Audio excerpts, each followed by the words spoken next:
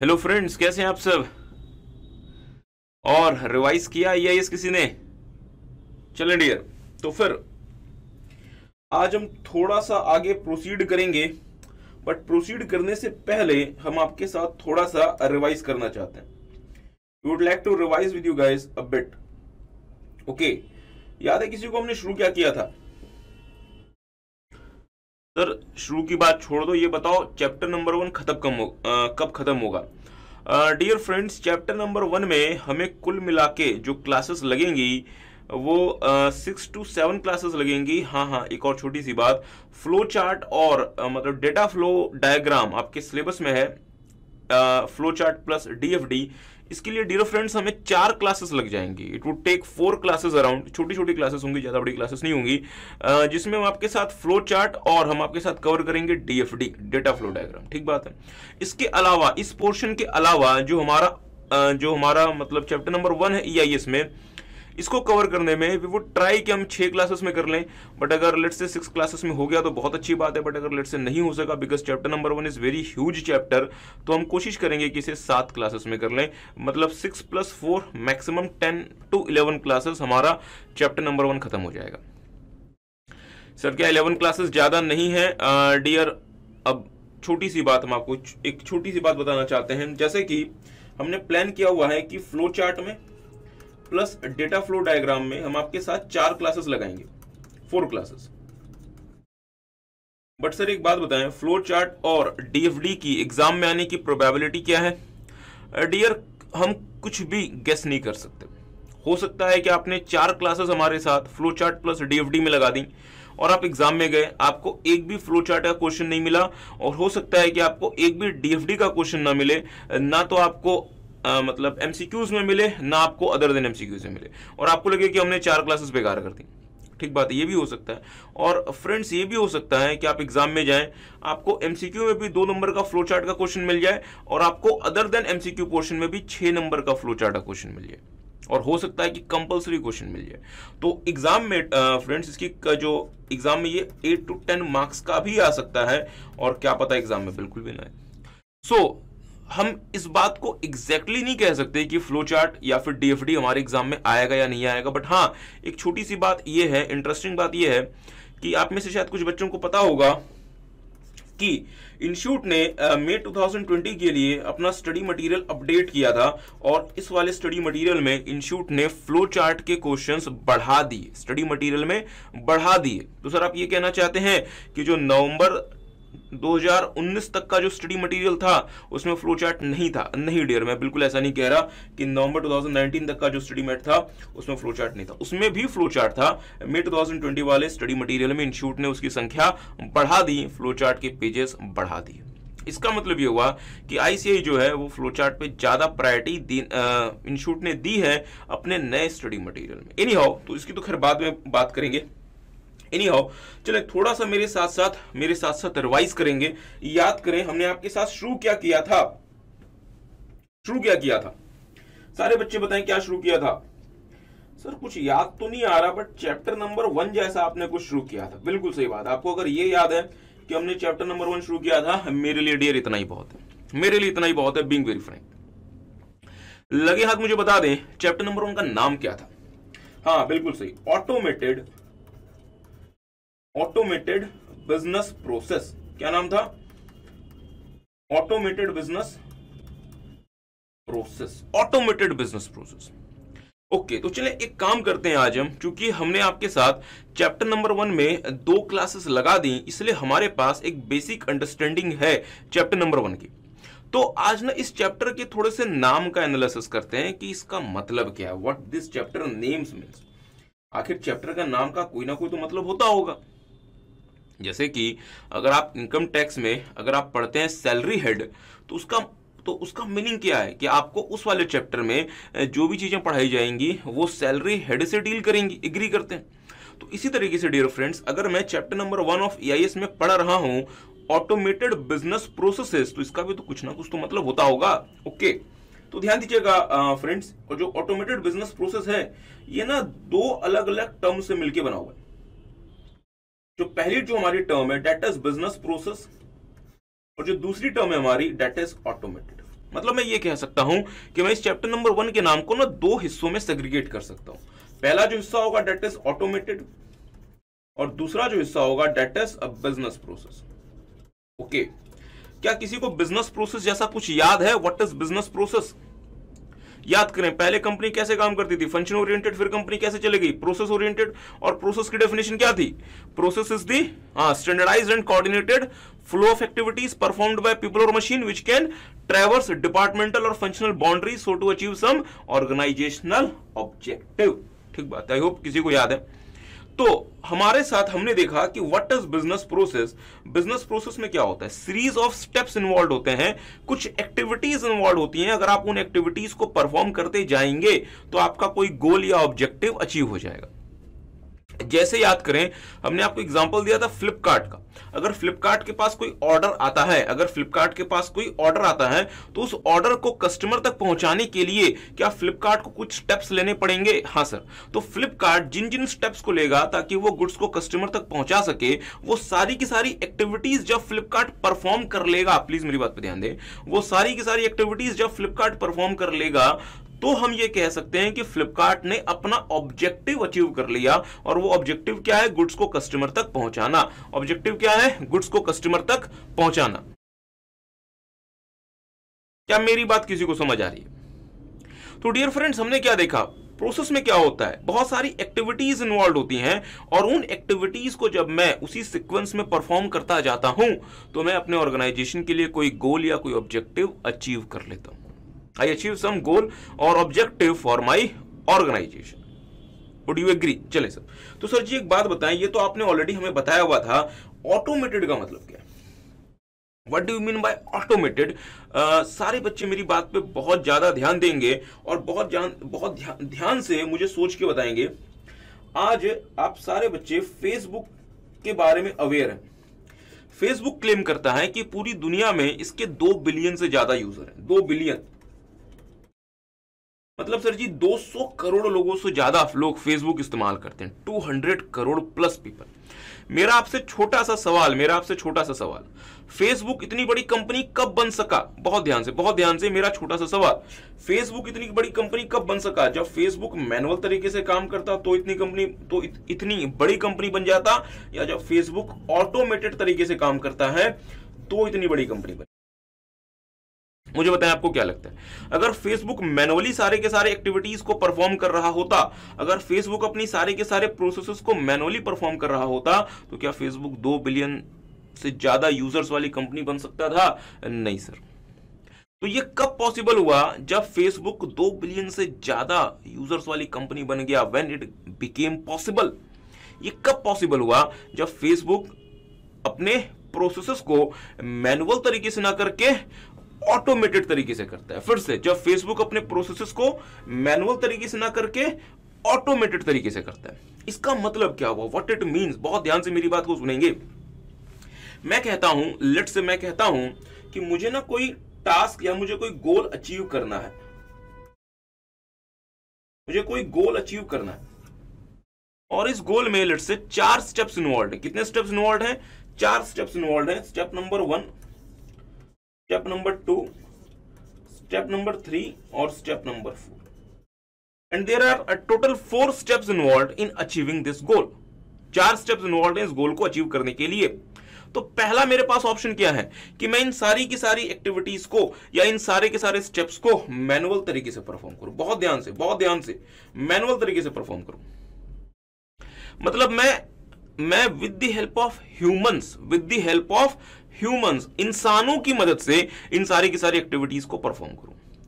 But sir अगर मैं humans की मदद से, इंसानों की मदद से अगर इन सारी की सारी एक्टिविटीज़ को परफॉर्म करूँगा तो ये जितने भी काम है, वो कंपैरेटिवली स्लो होंगे। जितने भी काम है कंपैरेटिवली स्लो होंगे कॉस्ट ज़्यादा इंकर होगी एरर्स ज़्यादा होंगे।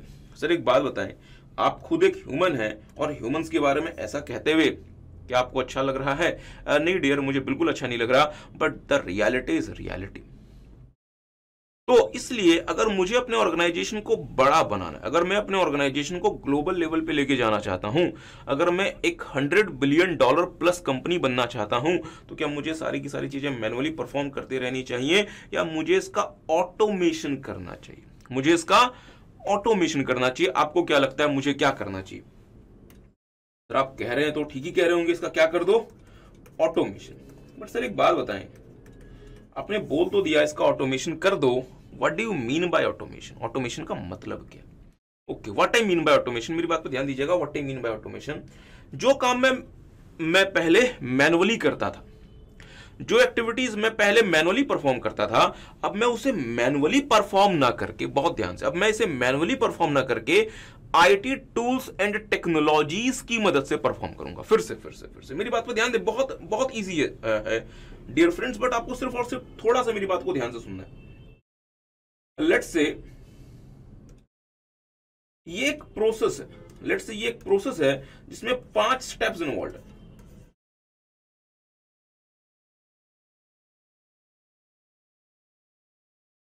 Let's say okay sir ji, चार ही बना सके आप। चलिए कोई बात नहीं।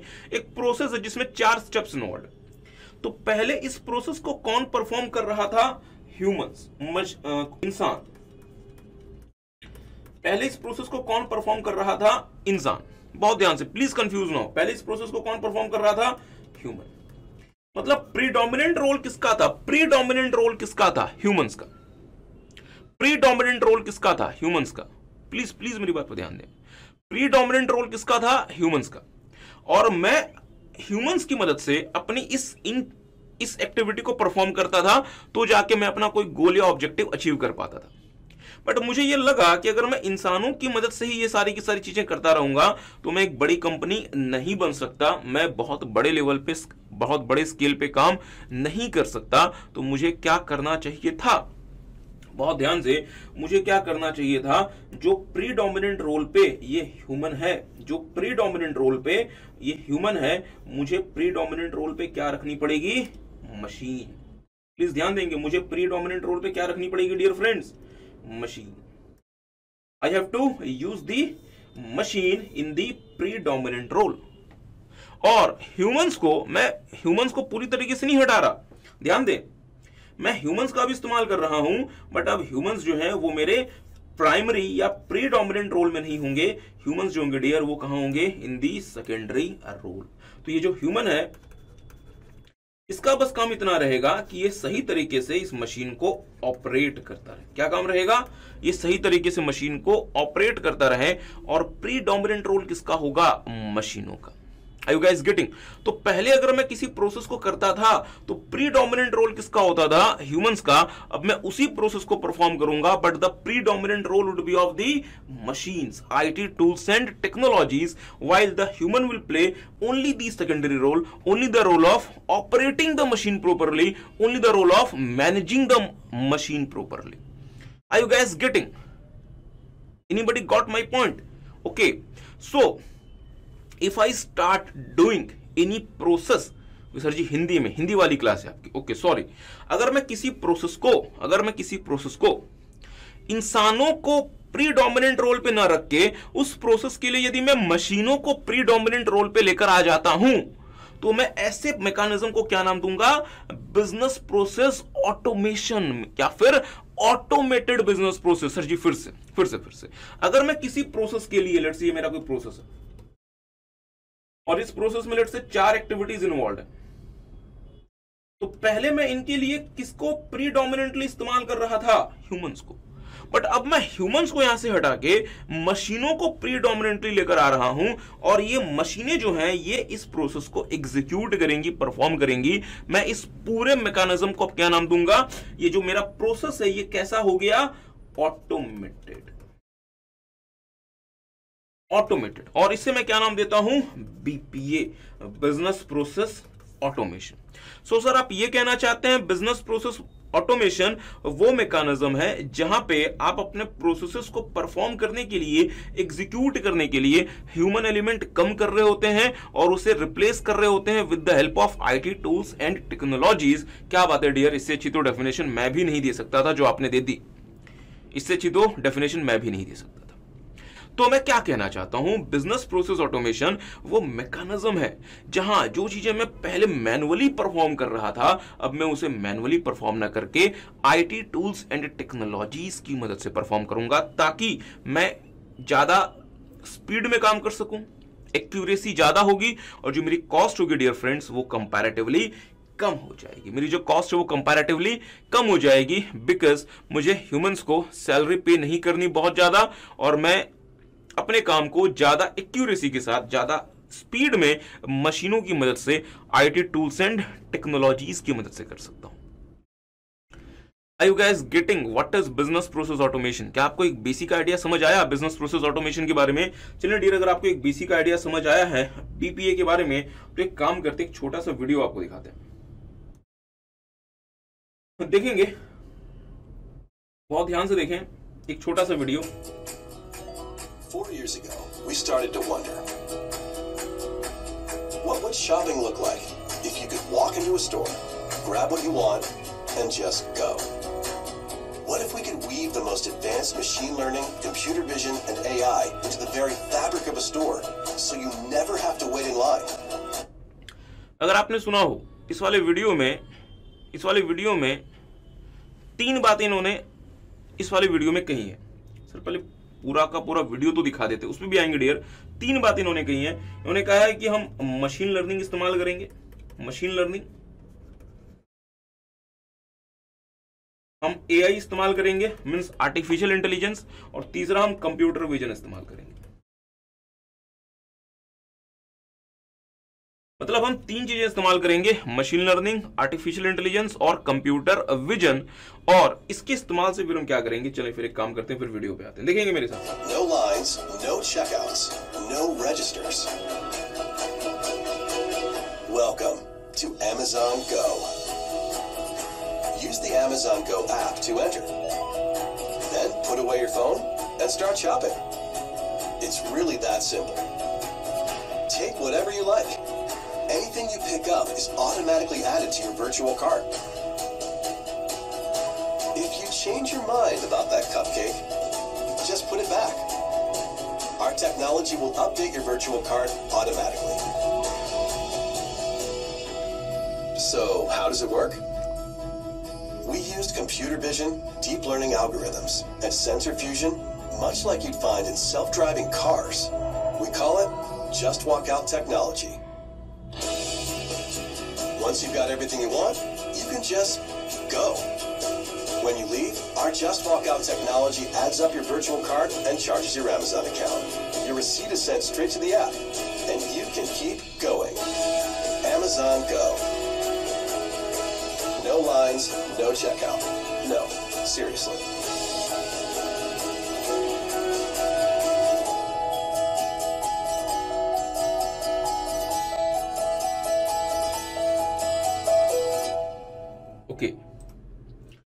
तो फिर आई होप आपने इस वीडियो को थोड़ा सा ध्यान से देखा।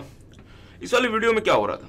पहले, अगर मैं किसी सुपरमार्केट में जाता हूँ, अगर मैं किसी लेट से ग्रोसरी स्टोर में जाता हूँ तो मुझे क्या करना पड़ेगा? जो भी मैंने प्रोडक्ट्स अपने कार्ट में पिक किए एंड में एक व्यक्ति होगा जो उसके लिए क्या जो क्या बना रहा होगा डियर अब बिल बना रहा होगा। अब एमेजॉन कंपनी आपको पता है, Amazon is world's largest e commerce company उन्होंने ऐसे स्टोर्स बनाए हुए हैं, अमेरिका में फ़िलहाल ये भारत देश में नहीं आए हैं, जहाँ पे कोई भी व्यक्ति आपके बिलिंग के लिए नहीं होगा। आपको जो भी लेना है, आप वहाँ से पिक कर लें और ऑटोमेटिकली तीन चीज़ों का इस्तेमाल करके मशीन लर्निंग एआई और finally what the computer vision Amazon इस बात को ओके Amazon विल सी कि आपने क्या क्या पिक किया है और अकॉर्डिंगली आपके लिए बिल बन जाएगा, आपके लिए बिल प्रिपेयर हो जाएगा। मीन्स Amazon को अब वहाँ पे किसी भी व्यक्ति को नहीं लगाना कि जो भी भी जिस व्यक्ति ने लिया है, उसके लिए अलग से बिलिंग करो। ये सारा का सारा जो है डियर फ्रेंड्स ये ऑटोमेटिकली हो रहा है। तो मैंने क्या कहा? पहले क्या होता था? पहले अगर मैं किसी स्टोर में जाता हूँ तो मुझे मैनुअली वहाँ पे बिलिंग करने के लिए रुकना पड़ता था और उस कंपनी को एक एक व्यक्ति को अपॉइंट करना पड़ता था जो कि मैनुअली सबकी बिलिंग करे। तो मैंने क्या कहा कि नहीं, इस पूरे के पूरे प्रोसेस में मैं ह्यूमन एलिमेंट को कम करूँगा। ध्यान दीजिएगा, मैं ह्यूमन एलिमेंट को खत्म नहीं कर रहा। मैं ह्यूमन एलिमेंट को डियर जहाँ तक हो सके कम कर रहा हूँ और मैं उसे किसे रिप्लेस कर रहा हूँ? आईटी टूल्स एंड टेक्नोलॉजीज़ की मदद से। ताकि मैं ज़्यादा स्पीड में काम कर सकूँ, ज़्यादा एक्यूरेसी के साथ काम कर सकूँ।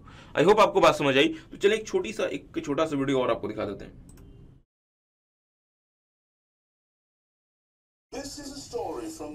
Too distant future.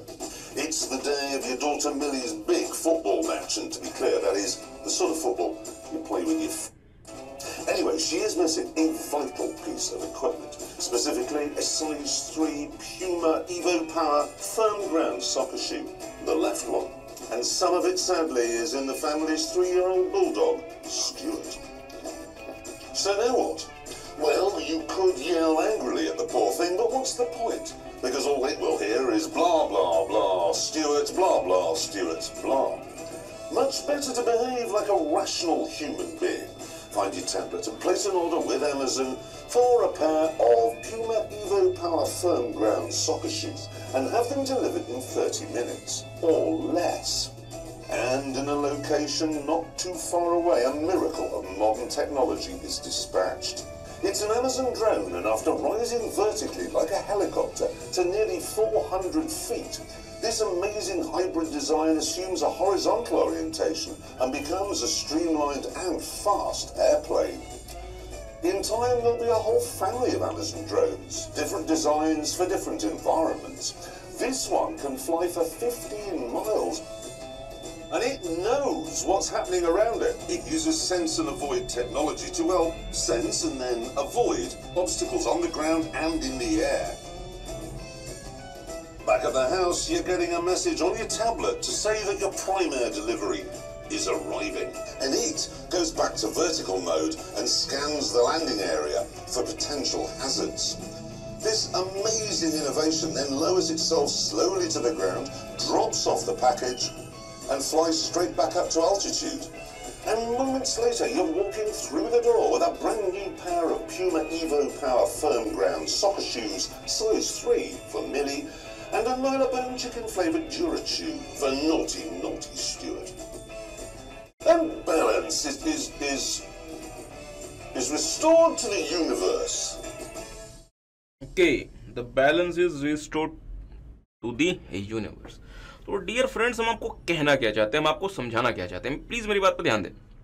पहले, जो काम हम with the help of humans किया करते थे मींस प्राइमरली पहले जिस काम में ह्यूमंस इन्वॉल्व होते थे, अब हम वहाँ पे ह्यूमंस को रिप्लेस कर रहे हैं with the help of IT tools and technologies means अभी भी वो टास्क परफॉर्म होगा बट कैसे परफॉर्म होगा?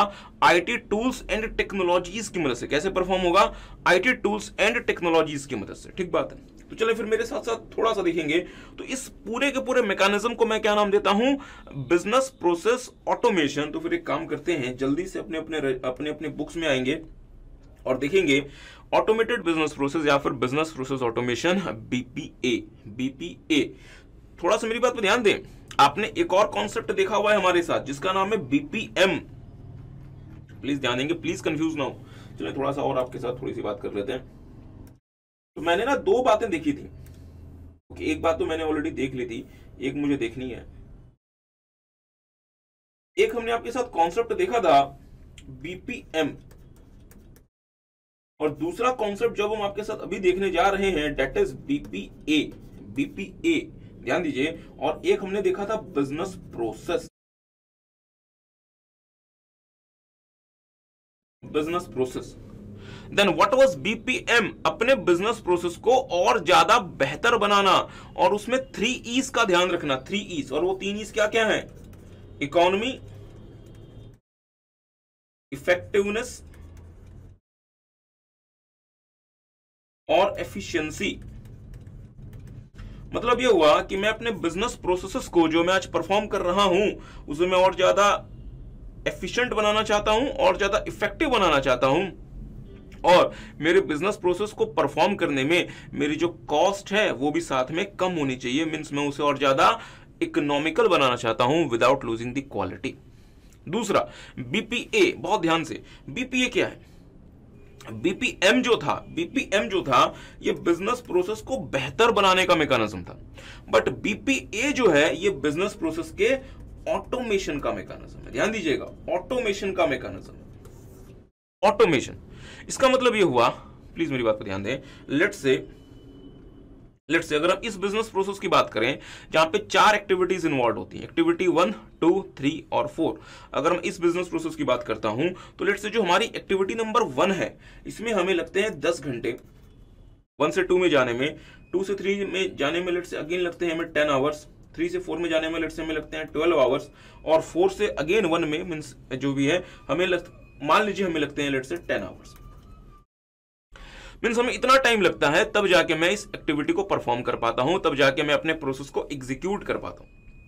तो अगर मैं बीपीएम करूँगा, ध्यान दीजिए, जब अगर मैं बीपीएम करूँगा बिज़नेस प्रोसेस मैनेजमेंट करूँगा तो मैं इस प्रोसेस को और ज़्यादा बेहतर बनाने का प्रयास करूँगा। मीन्स लगने वाला समय कम हो, लगने वाले कॉस्ट कम हो।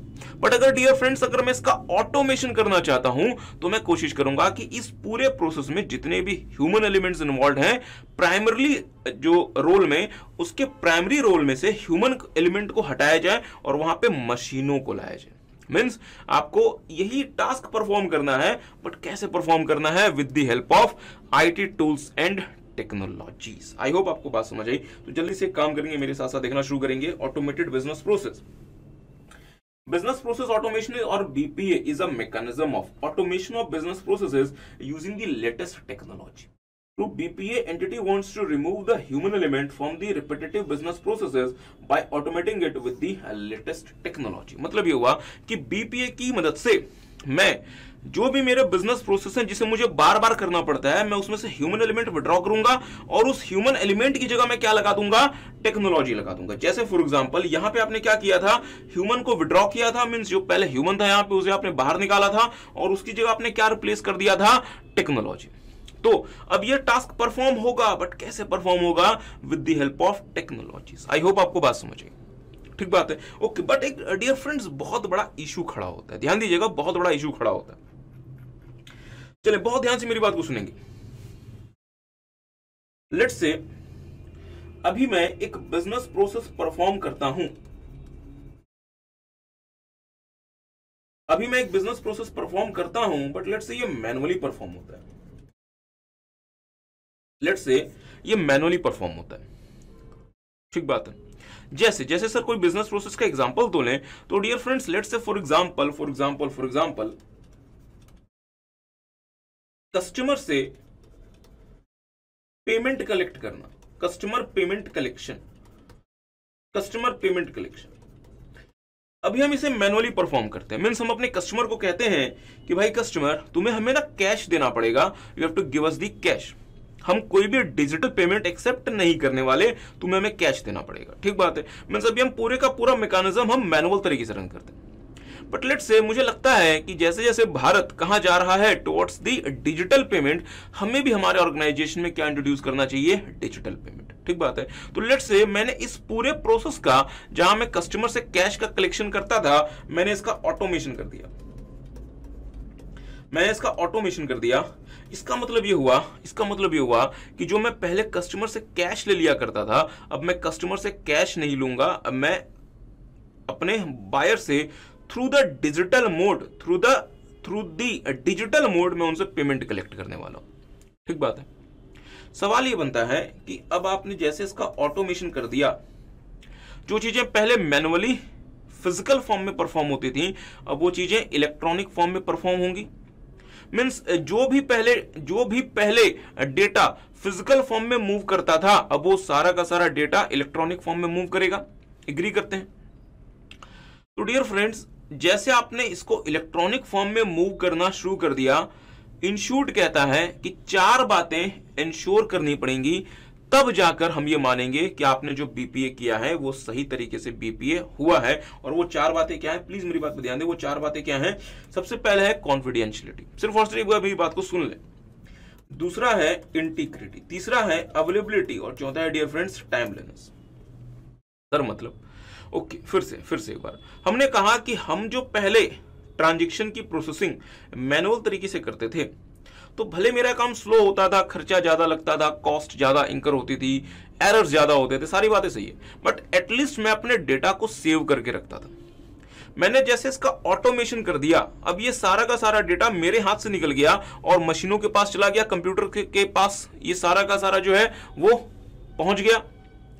तो मैं कब मानूँगा कि मेरा जो डेटा है, वो सही तरीके से काम कर रहा है, या मैंने जो ऑटोमेशन किया था, वो सही तरीके से काम कर रहा है? इंस्टीट्यूट कहता है, चार बातों का ध्यान रखें। कॉन्फिडेंशियलिटी आपने जो बीपीए किया है, वो आपके डेटा की, वो आपके इंफॉर्मेशन की, वो आपके प्रोसेस की कॉन्फिडेंशियलिटी इंश्योर करेगा। What I mean by confidentiality confidentiality का मतलब हुआ डेटा जिसके पास जाना चाहिए, जिसके पास उसे देखने का अधिकार है, सिर्फ़ वही व्यक्ति उस डेटा को देख सकता है। इसके अलावा कोई दूसरा व्यक्ति उस डेटा को नहीं देख सकता। That is confidentiality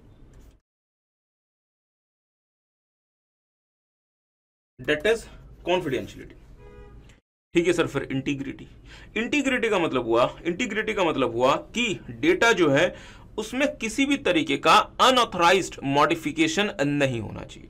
इंटीग्रिटी का मतलब हुआ कि डेटा में किसी भी तरीके का अनऑथराइज्ड मॉडिफिकेशन नहीं होना चाहिए। जो सेंडर ने डेटा भेजा है, जो भी डेटा भेजा है, वो डेटा उसी फॉर्म में रिसीवर के पास पहुँचना चाहिए। इस पे आएँगे। अवेलेबिलिटी का मतलब हुआ अवेलेबिलिटी का मतलब हुआ कि डेटा हमारा जब भी हमें रिक्वायरमेंट हो, वो अवेलेबल होना चाहिए। और finally dear what I mean by the term timeliness मुझे जिस समय में डेटा की रिक्वायरमेंट है, वो डेटा उस समय अवेलेबल होना चाहिए। प्लीज़ मेरी बात पर ध्यान दें। इसे हम नाम देते हैं बीपीए सक्सेस क्राइटेरिया या ऑब्जेक्टिव्स ऑफ़ बीपीए फिर से, इसे हम नाम देते हैं बीपीए सक्सेस क्राइटेरिया या ऑब्जेक्टिव्स ऑफ़ बीपीए जो ये कहता है कि अगर आपने अपने ट्रांजेक्शन का बीपीए कर दिया, प्रोसेस का बीपीए कर दिया, बहुत अच्छी बात है करना चाहिए। बट हम आपके बीपीए को सही हुआ को सही बीपीए या एक प्रॉपर बीपीए एक इफ़ेक्टिव बीपीए तभी मानेंगे जब आपका जो बिज़नेस प्रोसेस ऑटोमेशन है, वो आपके डेटा का इंफॉर्मेशन का प्रोसेस की चार बातें श्योर करता है। और वो चार बातें क्या है डियर कॉन्फिडेंशियलिटी इंटीग्रिटी अवेलेबिलिटी और फाइनली दी टाइमलेंस ठीक बात है। चले सर, एक छोटा सा एग्ज़ाम्पल दें। बहुत ध्यान से मेरी बात को सुनेंगे। एक एग्ज़ाम्पल कंसिडर करते हैं, बहुत ध्यान से। लेट्स से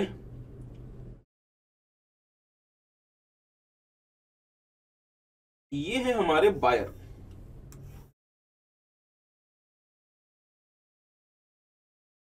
और ये है हमारे सेलर ये हमारे सेलर और ये लेट से इनका ऑर्गेनाइजेशन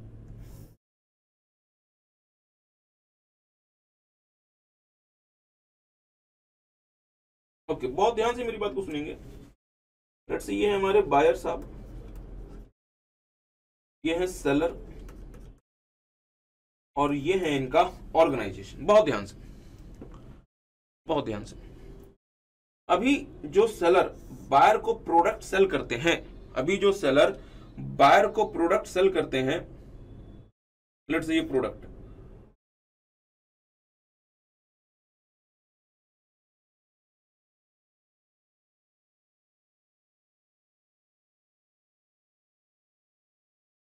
ये प्रोडक्ट। तो सेलर जो है, ये सिर्फ़ हार्ड कैश एक्सेप्ट करता है। मतलब सिर्फ़ कैश पेमेंट। नथिंग एल्स सिर्फ़ cash payment no other option means buyer को सेलर के शॉप पे जाना पड़ेगा प्रोडक्ट परचेज करना पड़ेगा और उन्हें कैश पे करना पड़ेगा। अभी का यह मेकानिज्म है। क्या यहाँ तक बात समझ आई आपको? सेलर को लगता है कि, सर जी, ऐसे ना बायर को बार बार शॉप पे बुला के उनसे कैश लेना, इससे ना हम अपने आप को एक्सपेंड नहीं कर पा रहे।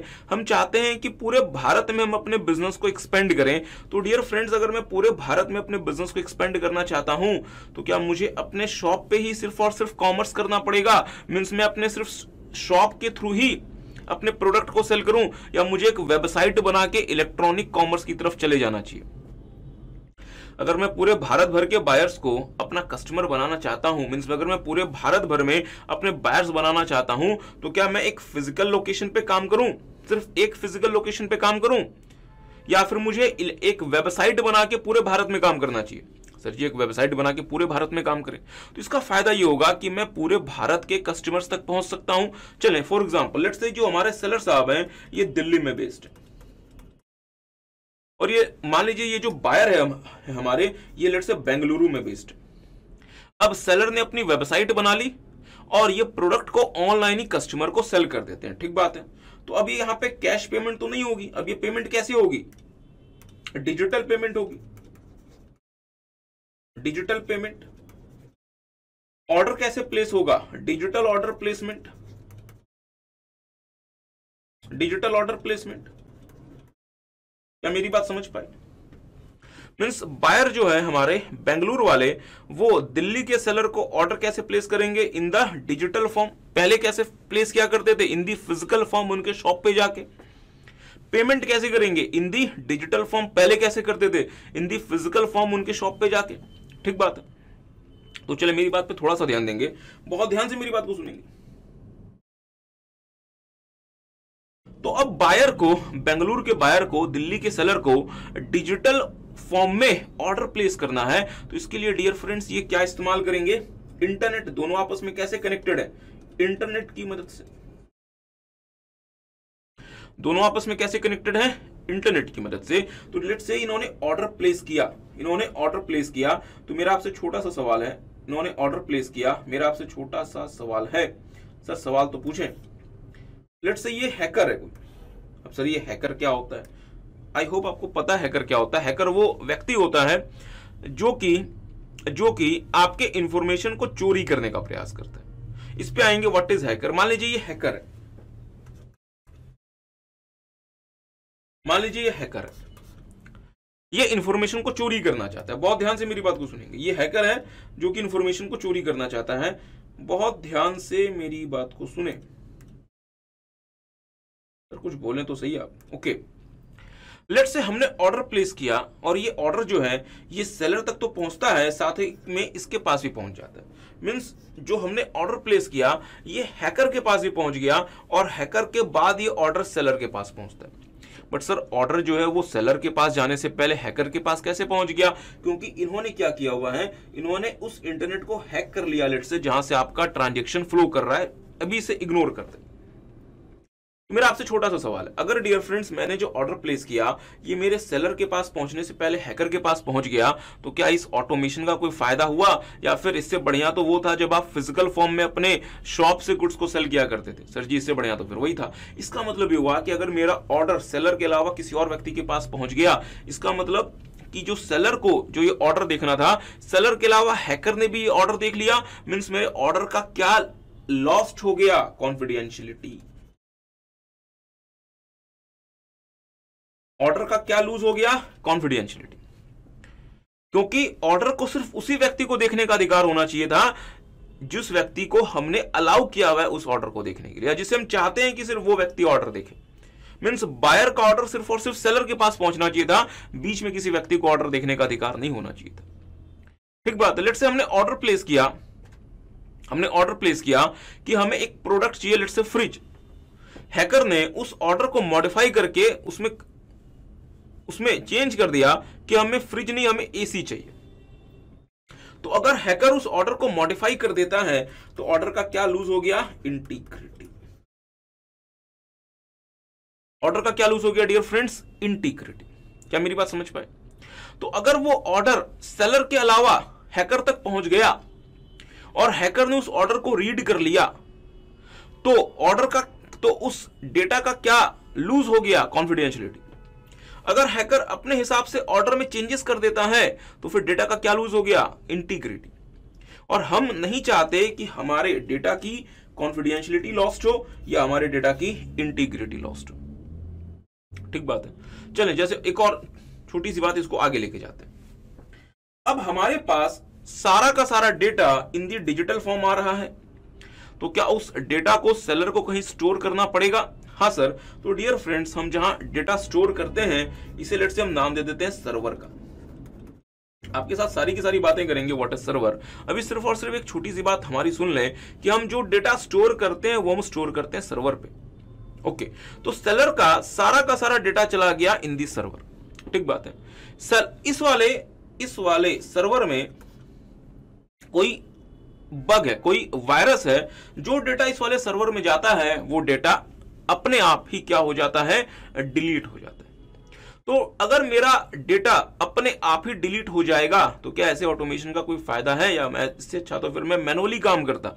सर, अगर डेटा अपने आप ही आपका डिलीट हो गया तो फ़ायदा क्या इससे अच्छा तो मैनुअली काम करते?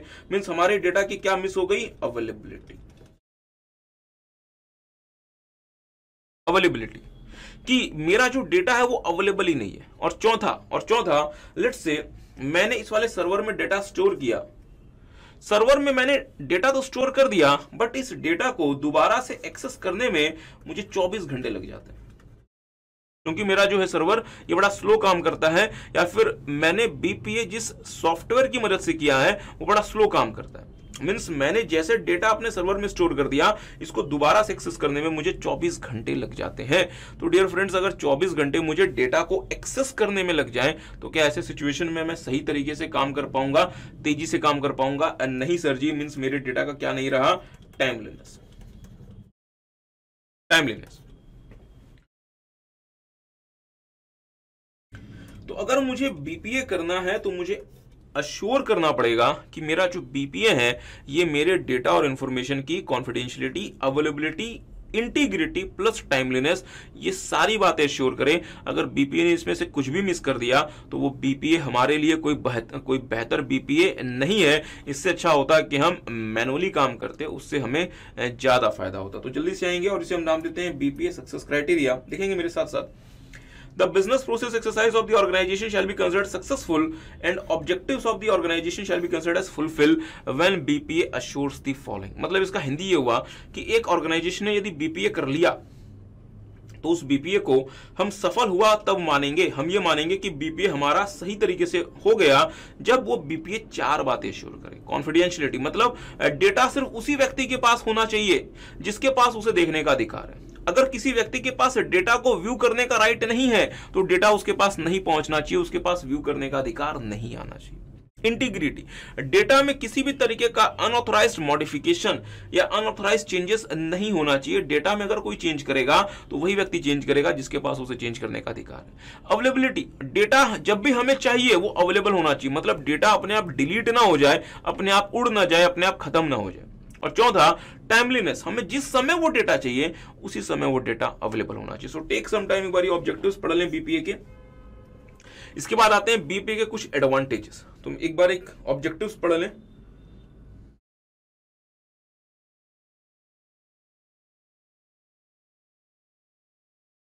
तो फिर अगर एग्ज़ाम में क्वेश्चन आता है कि बी लिमिटेड ने बीपीए कर लिया आप कब ये मानेंगे कि बी लिमिटेड का जो बीपीए है, वो सही तरीके से पूरा हो गया? तो हमारा आंसर क्या होगा कि बी लिमिटेड के बीपीए को सही तरीके से पूरा हुआ हुआ मैं तब मानूँगा जब बी का जो बीपीए है, वो चार बातें श्योर करेगा कॉन्फिडेंशियलिटी इंटीग्रिटी अवेलेबिलिटी और फाइनली वॉट दी टाइमलीनेस तो अगर ये चार बातें बी का बीपीए पूरा कर पाता है तो ही हम ये मानेंगे कि बी ने जो बीपीए किया है, उसका करने का कोई फ़ायदा हुआ अदरवाइज़ हम ये नहीं मानेंगे।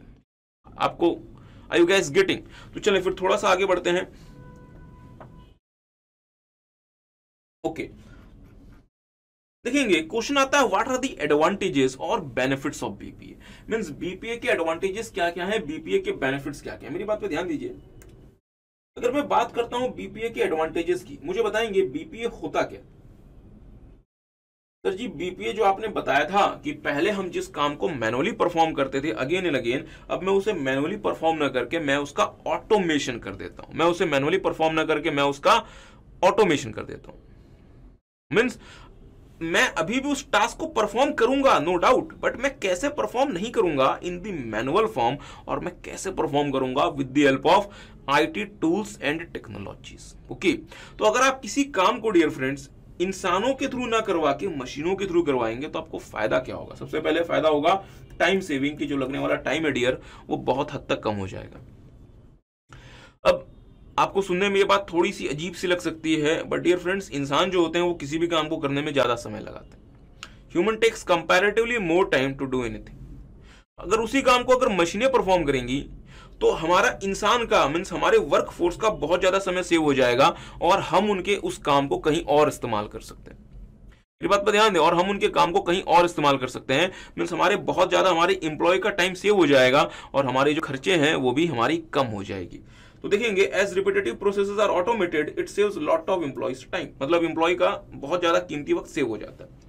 अगर इंप्लॉय का टाइम सेव हो गया, हमें कम इंप्लॉयज की रिक्वायरमेंट है जल्दी हमारा काम हो रहा है। रिसोर्सेस कम इस्तेमाल होंगे क्योंकि इंसान जितनी देर तक ऑफ़िस में बैठ के काम करेंगे, उतनी देर तक वो हमारी इलेक्ट्रिसिटी इस्तेमाल करेंगे, पंखा, बिजली, बत्ती, एसी सारा इस्तेमाल करेंगे। मीन्स हमारी ओवरहेड की कॉस्ट बहुत ज़्यादा आएगी। अगर इस काम को अगर हम मशीनों की मदद से करेंगे तो हमारी जितनी भी एसोसिएटेड कॉस्ट है, वो सारी की सारी कम हो जाएगी। Means reduced cost manual task are performed at slower rate than the automated task and consumes more time and resources अगर आप किसी काम को मैनुअली परफॉर्म करेंगे तो उसे स्लो परफॉर्म करेंगे और उसमें लगने वाला टाइम और रिसोर्सेज बहुत ज़्यादा होगा। अगर मैं इस काम को ऑटोमेशन के थ्रू करता हूँ ऑटोमेट कर देता हूँ तो लगने वाला समय भी कम होगा रिसोर्सेज भी कम इस्तेमाल होंगे और मैं ज़्यादा तेज़ी से काम कर सकता हूँ। मीन्स मेरे लिए जो खर्चे हैं, वो कम हो जाएँगे, मेरी कॉस्ट कम हो जाएगी। Okay reduced turn around time बहुत ध्यान से. Reduced turnaround time what I mean by turnaround time मेरी बात पे ध्यान दीजिएगा। लेट से मैं रॉ मटेरियल खरीद के लेकर आता हूँ। रॉ मटेरियल को खरीद के लेकर आना मेरा ऑब्जेक्टिव था, या इस रॉ मटेरियल को फिनिश गुड्स में कन्वर्ट करके, उस फिनिश गुड्स को कस्टमर को सेल करके पैसा कमाना ऑब्जेक्टिव था। आपको क्या लगता है ऑब्जेक्टिव क्या था? मैं रॉ मटेरियल खरीद के लेकर आया। क्या उस रॉ मटेरियल को खरीद लेना मेरा उद्देश्य था? या इस रॉ मटेरियल को जितना जल्दी हो सके, मुझे फिनिश गुड्स में कन्वर्ट करके, उस फिनिश गुड्स को कस्टमर को सेल करके पैसे कमाने चाहिए। सर जी बट ऑब्वियस सी बात है, ये तो खैर, इसमें तो खैर कोई मतलब शक ही नहीं है। तो डियर फ्रेंड्स मैं जितना जल्दी रॉ मटेरियल को फिनिश गुड्स में टर्न कर सकता हूँ, और उससे मैं जितना जल्दी, उससे मैं पैसे कमा सकता हूँ, मेरे मेरे ऑर्गेनाइजेशन के लिए वो उतना बेहतर होगा। एग्री करते हैं? लेट्स से अगर मैं मैनुअल तरीके से काम करता हूँ तो एक बार रॉ मटेरियल को फिनिश गुड्स में टर्न करने में मुझे तीन महीने का समय लग जाता है।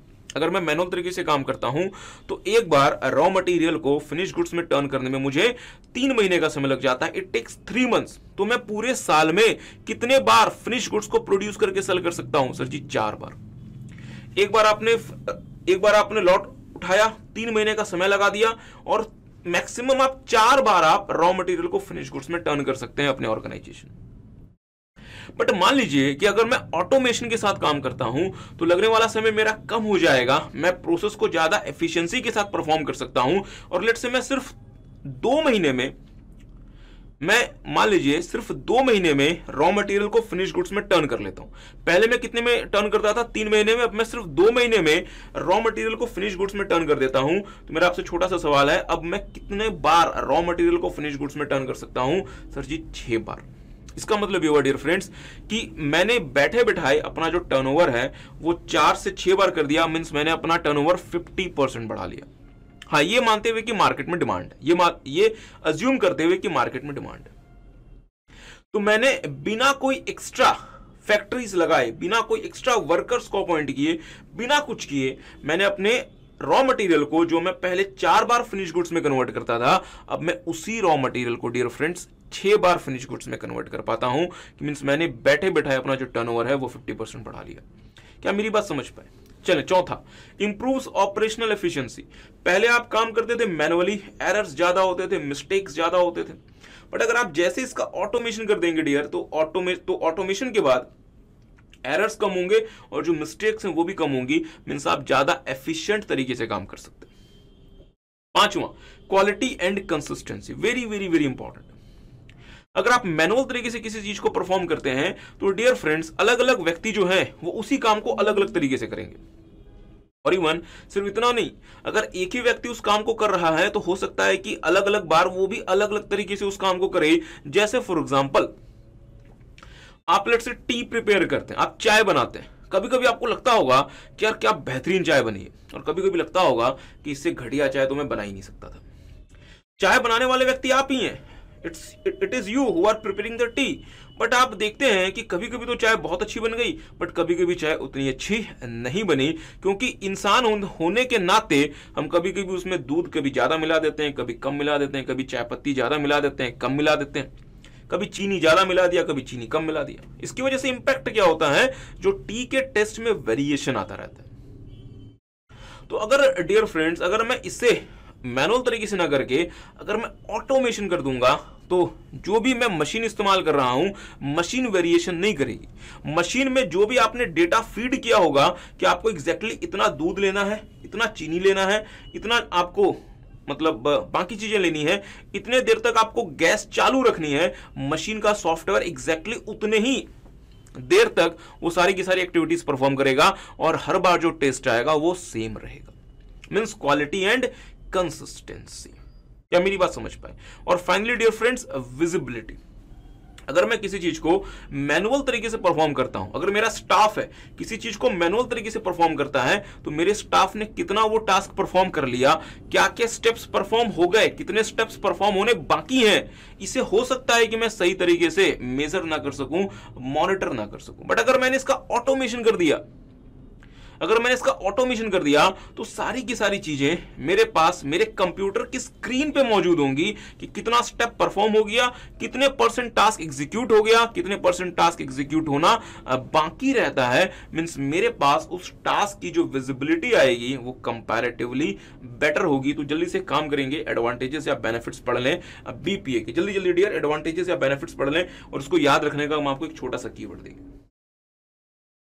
जल्दी से पढ़ लें एडवांटेजेस या benefits of BPA then how you can remember it we will give you a small keyword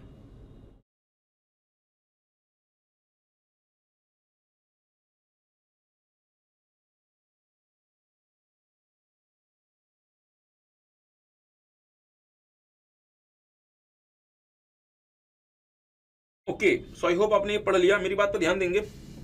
चलो थोड़ा सा एक बार फिर से देखते हैं। बीपीए के बारे में हमने आपको डियर दो बातें बताई अभी तक।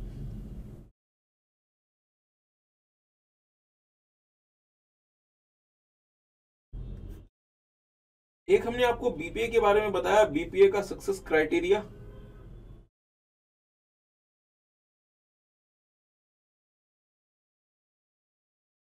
और दूसरा हमने आपको बीपीए के बारे में बताया, इसके advantages okay okay.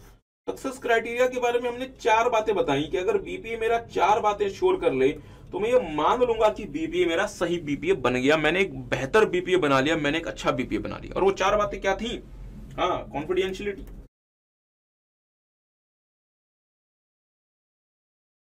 Integrity availability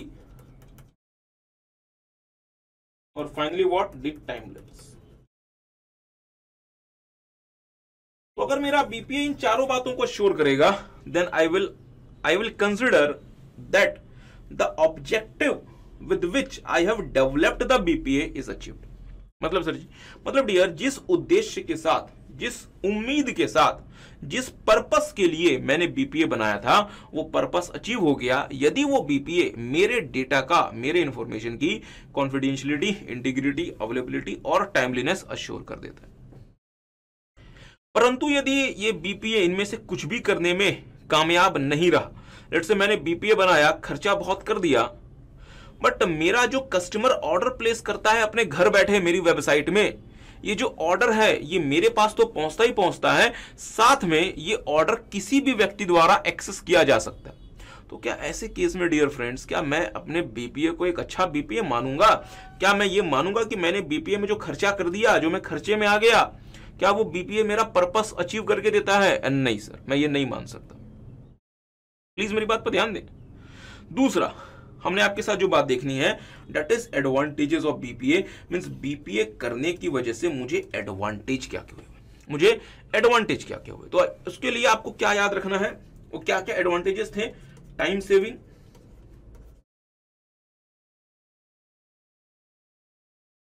visibility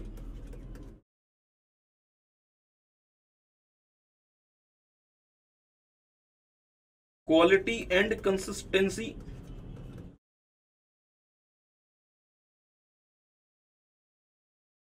Quality and consistency. Improves operational efficiency. कुछ भी नोट नहीं करना। Improves operation operational efficiency. हाँ reduce reduces cost reduces turnaround time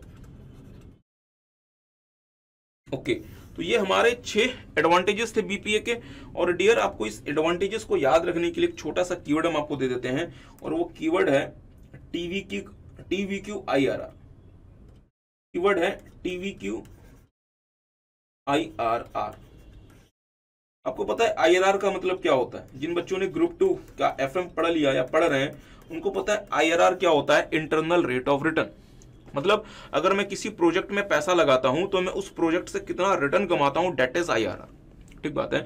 तो कीवर्ड का मतलब है, एक कंपनी है जिसका नाम है टीवी क्यू कंपनी का नाम क्या है? टीवी क्यू बट सर हमने तो टीवीएस का नाम सुना हुआ टीवी क्यू जैसे तो कोई कंपनी नहीं सुनी हुई। अब डियर वो ऐसे यहाँ फिट नहीं हो रहा था, इसलिए हमने ना क्यू बना दिया। पर्पज सिर्फ़ इतना है कि एग्ज़ाम में आपको बस ये थोड़ा सा अगर याद आ गया तो आप एग्ज़ाम में डियर फ्रेंड्स छह की जगह चार पाँच पॉइंट तो आराम से लिख सकते हैं, और अगर ये पाँच नंबर का क्वेश्चन है तो तीन, साढ़े तीन नंबर आपको मिल सकते हैं। बट अगर आपने भले सब कुछ पढ़ लिया बट एग्ज़ाम में अगर वो लीड ना मिले एग्ज़ाम में अगर वो रिकॉल ना हो वो पॉइंट्स क्योंकि डियर अगेन ये छह पॉइंट्स याद रखने अभी आपके लिए आसान है बट जैसे आप ओके पाँच ही पॉइंट है ना जो ओके जैसे आपने ये क्लासेस बंद की और जैसे आप ऑफ़िस के लिए निकल गए तो रास्ते में आप भूल जाएँगे कि एडवांटेजेस और बेनिफिट्स ऑफ़ बीपीए क्या थे। अगले दिन तो याद रहने का कोई सवाल ही नहीं बनता। इसलिए हम चाहते हैं कि आपको बात तो समझ आ गई but still you should have some kind of retention power also तो एक कंपनी थी जिसका नाम था टीवी क्यू कंपनी ने बीपीए किया। बीपीए करने की वजह से कंपनी का आईआरआर बढ़ गया। ध्यान दीजिएगा कंपनी थी टीवी क्यू कंपनी ने बीपीए कर दिया। कंपनी ने बीपीए कर दिया। कंपनी ने बीपीए कर दिया मतलब बीपीए का एडवांटेज और बीपीए करने की वजह से कंपनी का आईआरआर बढ़ गया इंटरनल रेट ऑफ़ रिटर्न बढ़ गया। तो आपको कीवर्ड क्या याद रखना है? टीवी क्यू आईआरआर तो आई होप आप इसको याद रखेंगे TV Q I R R तो ये है हमारा keyword okay so take some time एक बार अगर आप एडवांटेजेस पढ़ना चाहते हैं तो दोबारा से पढ़ लें। फिर हम आपके साथ जाएँगे how to go about BPA steps involve in B okay okay, तो फिर आई होप आपने ये पढ़ लिया। तो आपको डियर कीवर्ड क्या याद रखना है? TV Q I R R तो आप इससे याद रख सकते हैं एडवांटेजेस और बेनिफिट्स ऑफ़ बीपीए ठीक बात है? अब डियर बीपीए का आखिरी टॉपिक और सबसे इंपॉर्टेंट टॉपिक कि हमें बीपीए अगर करना है तो हमें बीपीए कैसे करना है? मैं आपसे एक छोटा सा सवाल पूछना चाहता हूँ। क्या बीपीए हम एडहॉक बेसिस पे कर लें? मींस मेरी जैसे मर्ज़ी आए, मैं वैसे बीपीए कर लूँ, या बीपीए को करने का एक मैकेनिज्म होगा। कुछ स्टेप्स इन्वॉल्व होंगे। सर जी बट ऑब्वियस बात है बीपीए जैसा बड़ा एक्सरसाइज या बीपीए जैसी बड़ी एक्सरसाइज करना इतना आसान नहीं होता। इसमें कंपनी का बहुत सारा कॉस्ट इन्वॉल्व होता है। कंपनी के बहुत सारे रिसोर्सेज इन्वॉल्व होते हैं। तो डियर अगर आपको बीपीए करना होता है तो इंस्टीट्यूट कहता है कि आठ स्टेप्स इन्वॉल्व होते हैं बीपीए को करने में। और हम चाहते हैं कि ये स्टेप्स हम आपको लिखवाएँ। तो फिर एक काम करेंगे एक काम करते हैं पहले ना लिख लेते हैं थोड़ा सा क्योंकि अभी तक हमने सुबह से कुछ लिखा नहीं है। आ, मतलब जब से हमारी क्लास स्टार्ट हुई हमने कुछ लिखा नहीं है। तो एक काम करते हैं थोड़ा सा लिख लेते हैं फिर लिखने के बाद फिर समझने का काम करेंगे। और जैसा कि हमने आपको एक बेसिक सी बात बता दी बीपीए करने में कुल मिला के कितने स्टेप्स इन्वॉल्व होते हैं? एट स्टेप्स इन्वॉल्व होते हैं। आठ स्टेप्स इन्वॉल्व होते हैं और स्टेप का मतलब क्या हुआ? एट दी सेम ऑर्डर और हाँ एक और छोटी सी बात, ये जो एडवांटेजेस है डियर फ्रेंड्स इसे आप किसी भी ऑर्डर में याद रख सकते हैं। एनी ऑर्डर बट जो स्टेप्स होते हैं या फिर जो प्रोसेस होते हैं, उसे हमें सेम ऑर्डर या सेम सिक्वेंस में याद रखना पड़ता है। ठीक बात है? तो जल्दी से लिखना शुरू करेंगे। आपको अपने बुक में ही लिखना है, किसी भी रजिस्टर में नहीं लिखना। जहाँ जहाँ आपको डियर बुक में स्पेस दिया हुआ है, आपको वहाँ पे किताब में लिखना है। आप ऐसा नहीं करें कि आपने कहीं और लिख लिया this is not the right approach ठीक बात है तो मेरे साथ साथ लिखेंगे स्टेप वन और थोड़ा सा जल्दी लिखें। Step one define why we plan to define why we plan to go for BPA. Define why we plan to go for BPA. या इसको ऐसे लिख लें गो फॉर बीपीए से अच्छा है। Why we plan to implement BPA implement BPA ऐसे लिख लें why we plan to implement BPA why we plan to implement BPA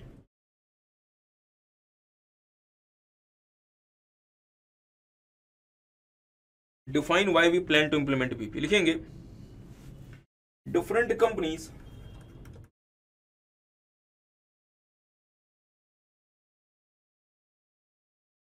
Uh, may have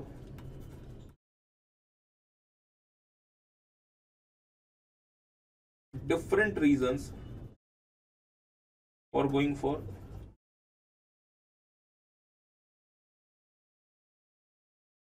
different companies may have different reasons for going for BPA अलग अलग company के अलग अलग उद्देश्य हो सकते हैं बीपीए की तरफ़ जाने के। आगे लिखेंगे।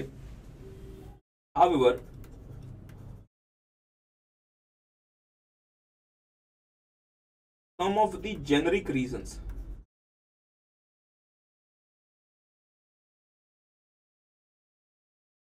however some of the generic reason ध्यान दीजिएगा। Generic reason generic reason sir what do you mean by generic reasons bracket में लिख लें most common reasons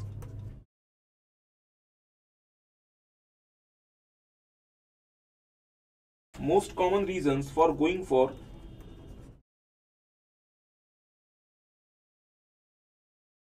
PPAR some of the generic reasons most common reasons for going for BPA are BPA की तरफ़ जाने के कुछ सबसे common reasons क्या क्या हो सकते हैं? लिखेंगे। Errors in manual processing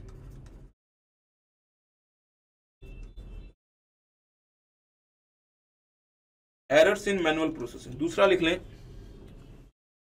Payment process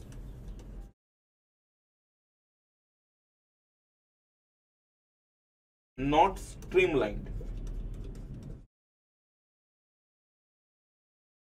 तीसरा लिख लें। Over debt management and cash flow poor debt management and cash flow poor debt management and cash flow चौथा लिख लें। Poor customer services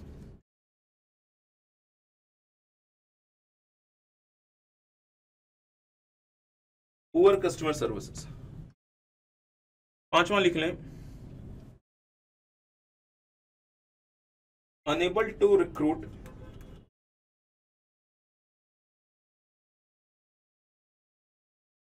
and train new employees.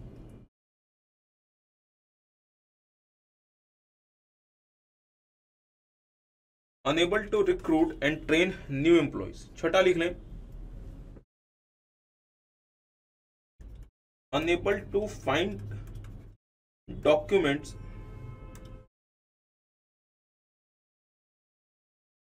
quickly unable to find documents quickly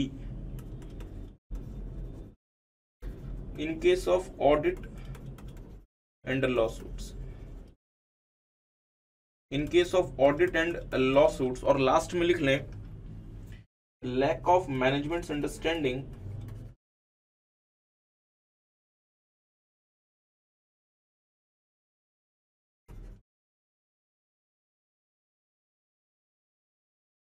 of business processes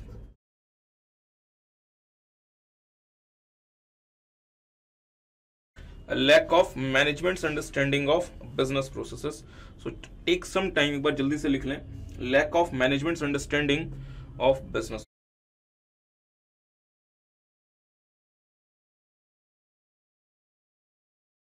अगर आपने यहाँ तक लिख लिया तो एक काम करें स्टेप टू लिख लें स्टेप टू लिख लें understand the rules and regulations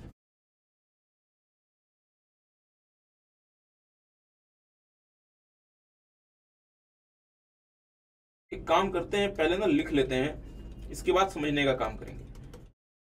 Entity needs to comply with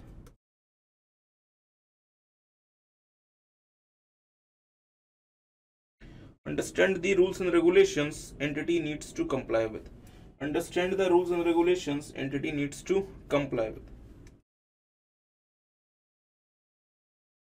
understand the rules and regulations entity needs to comply with लिखेंगे।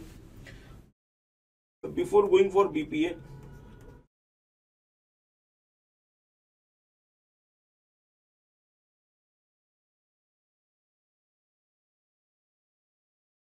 entity needs to understand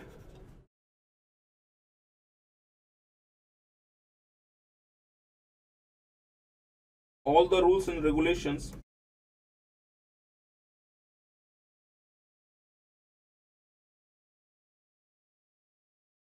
it needs to comply full stop the rules and regulations can be local or national can be local or national आगे लिख लें it can also be it can also be internal corporate policies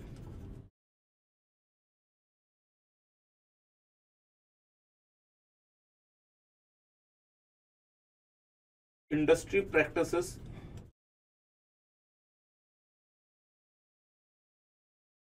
etc it can also be internal corporate policies industry practices etc plus और लिख लें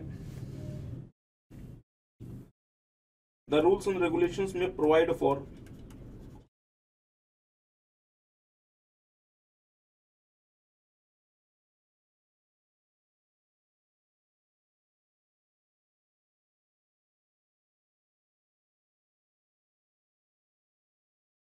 whether or not the rules and regulations may provide for whether or not the particular process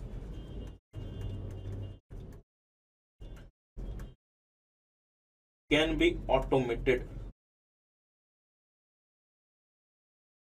Whether or not the particular process can be automated comma extent of automation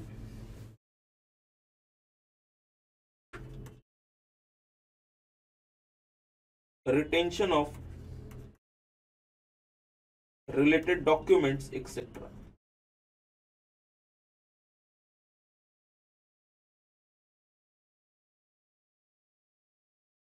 retention of related documents etc retention of related documents etc the rules and regulations can provide for whether or not the particular process can be automated extent of automation retention of related documents etc so take some time एक बार लिख लें चलिए जिन्होंने लिख लिया वो आगे लिखेंगे step three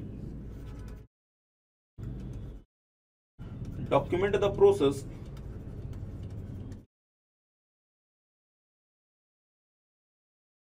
document the process entity wishes to automate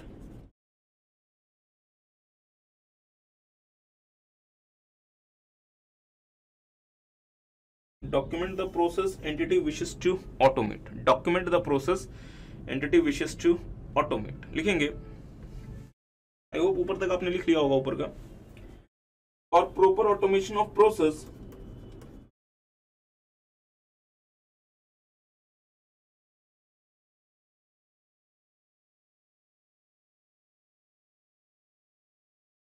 comma it is necessary for proper automation of process comma it is necessary to document to document the process entity wishes to automate entity wishes to automate आगे लिख लें documentation documentation is very important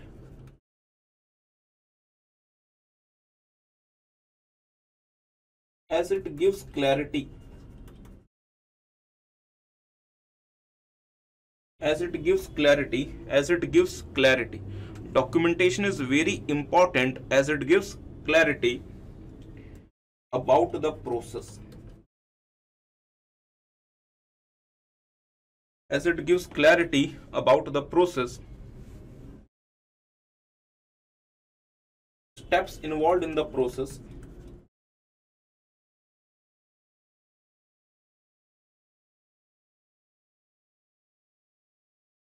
steps involved in the process steps involved in the process and bottlenecks bottlenecks b o double t l e n e c k s bottlenecks if any bottlenecks if any in the process. Bottlenecks if any in the process. Full stop.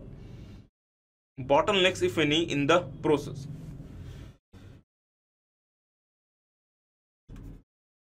After documentation after after documentation comma entity will be fully aware. Entity will be fully aware about the process. Entity will be fully aware about the process and can automate it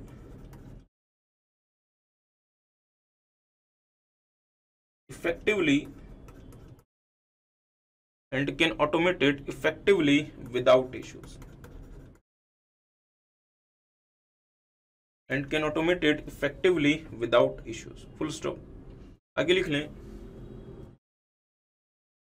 for documentation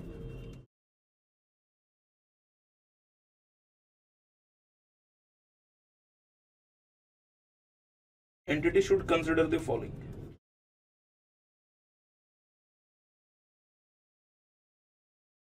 और documentation entity should consider the following for documentation entity should consider the following अभी आपको कुछ भी समझ नहीं आएगा dear अभी सिर्फ़ लिख लें।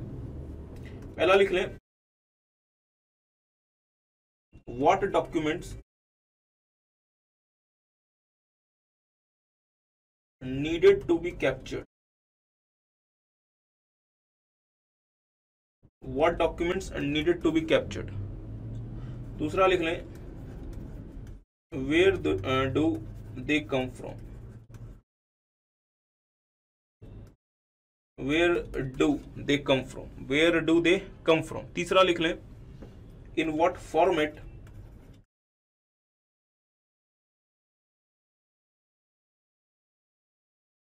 they are, in what format they are in?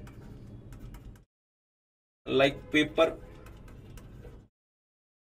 pdf email etc like paper pdf email etc who is involved?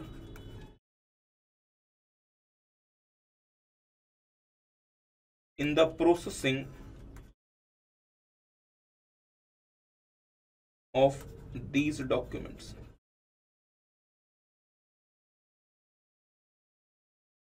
who is involved in the processing of these documents. Who is involved in the processing of these documents? Finally what are the regulatory impacts? What are the regulatory impacts on processing these documents?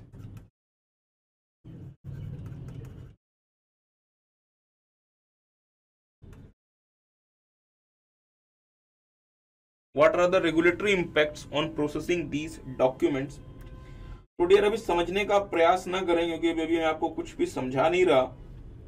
अभी तो हम चाहते हैं कि आप सिर्फ़ और सिर्फ़ लिख लें एक बार, समझने का कम बाल for documentation entity should consider the following what documents what documents needed to be captured where do they come from in what format they are in like paper pdf email who is involved in the processing of these documents or finally what are the regulatory impacts on processing these documents what are the regulatory impact on processing these documents थोड़ा सा और लिख लेंगे आगे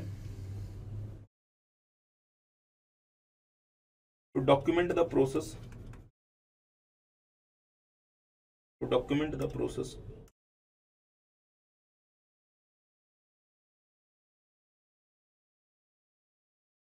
entity can create flowchart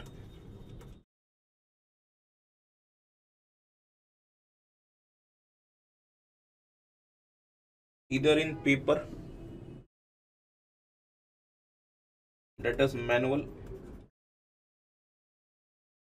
or with computers और with computers तो ध्यान देने वाली बात यह है जो हमने आपको लिखवाया है, कि प्रोसेस को डॉक्यूमेंट करने के लिए जो एंटिटी है, वो फ्लो चार्ट का इस्तेमाल कर सकती है। बट सर जी, एक बात बताएँ, अभी तक आपने जो तीन स्टेप्स लिखवा दिए, अभी तक तो हमें कुछ समझ ही नहीं आया। डेयर हम अभी आपको कुछ समझाना भी नहीं चाह रहे। अभी तक हमने आपके साथ समझने की कोई बात ही नहीं की। अभी तो हम चाहते हैं सिर्फ़ आप लिख लें एक बार। सो टेक सम टाइम और एक बार ध्यान से सावधानी पूर्वक लिख लें। इसके बाद हम फिर आगे जाके समझेंगे कि हमने जो लिखवाया, इसका मतलब क्या बनता था। देखेंगे, मैं आपको श्योर करता हूँ डियर फ्रेंड्स कि सारी की सारी बातें आपको समझ आएँगी, इसके लिए आपको बिल्कुल भी परेशान नहीं होना। एक काम करें स्टेप नंबर फोर लिखें थ्री तक हमने कर लिया था ना? Document the process step four लिखेंगे स्टेप नंबर फोर लिखेंगे define the objective and goals to be achieved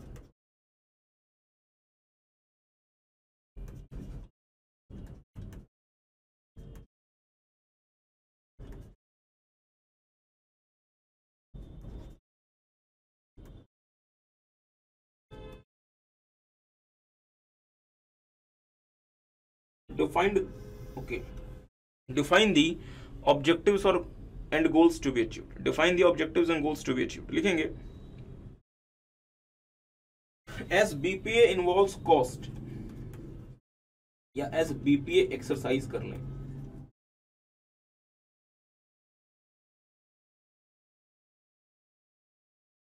comma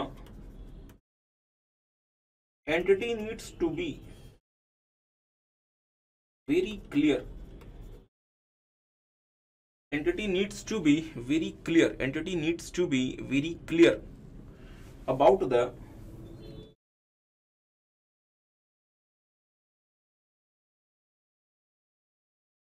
objectives and goals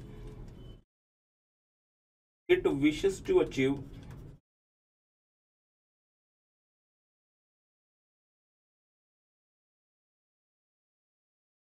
through BPA. About the objectives and goals it wishes to achieve through BPA. Full stop.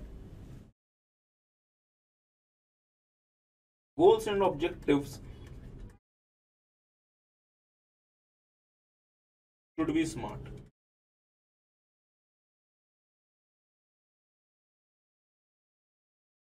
Capital में लिखेंगे goals and objectives should be smart capital में लिखेंगे S M A R T smart smart का मतलब क्या ठीक है S बोले तो स्पेसिफिक एस बोले तो specific goals should be goals should be clearly defined that is specific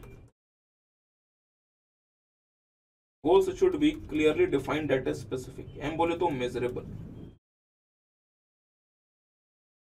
uh, measurable measurable goals should be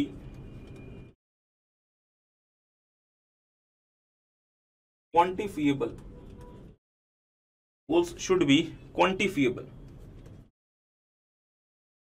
quantifiable तीसरा अटेनेबल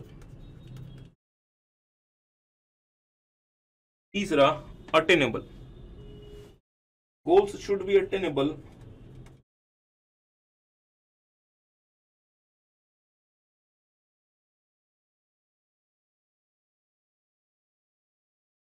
with reasonable efforts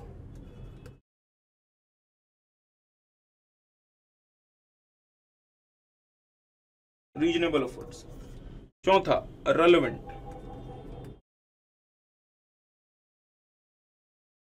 चौथा relevant goals should be relevant for the entity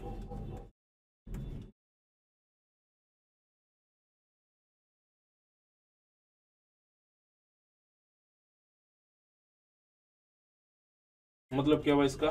That is entity should be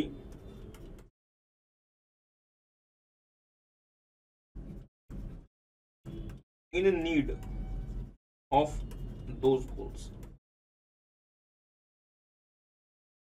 Entity should be in need of those goals. और पांचवा timely. Timely. पांचवा timely. पांचवा timely. goals should be achievable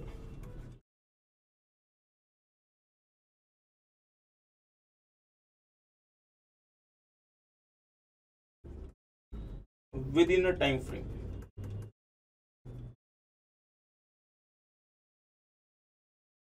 goals should be achievable within a time frame goals should be achievable within a time frame तो take some time और एक बार ध्यान से लिख लें अजीब सा कलर है वाला कलर चेंज करते हैं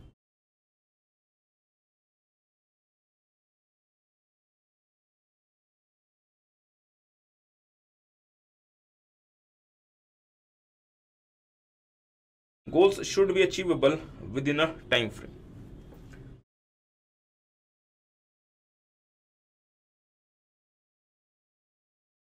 okay okay. लिखेंगे जैसे एग्जांपल के फॉर्म में ध्यान से लिख लें example A limited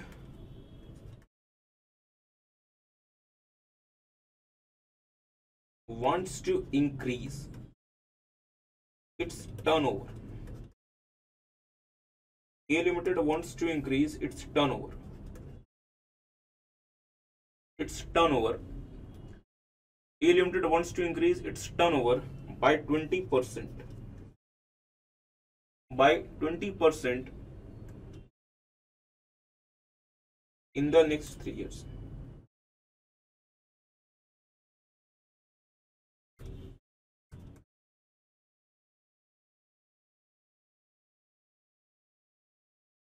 Through B P है।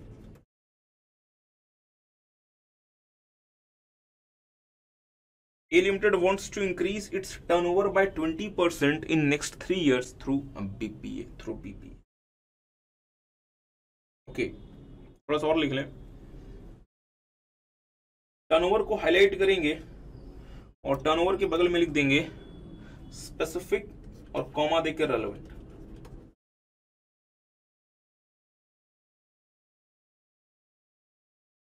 स्पेसिफिक कॉमा देख के रेलिवेंट ठीक बात है.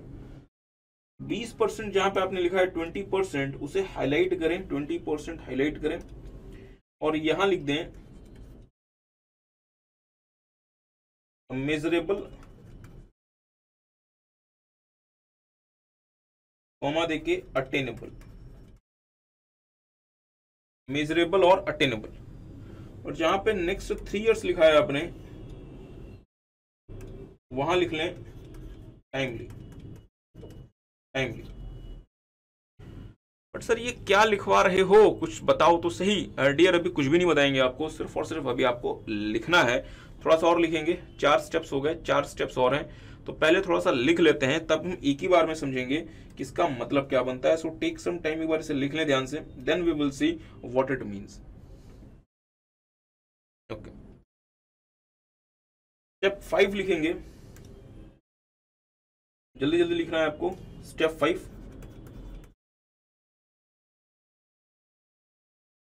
engage the business process consultant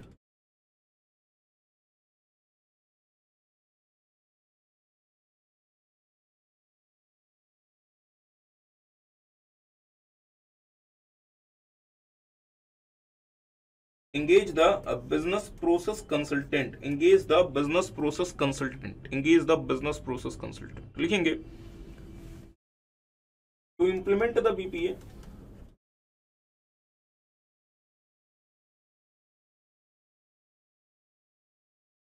comma entity needs to engage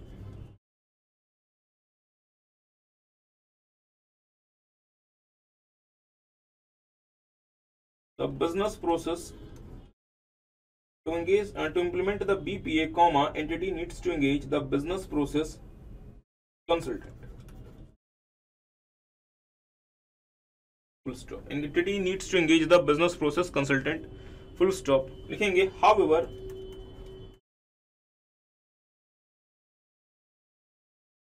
before engaging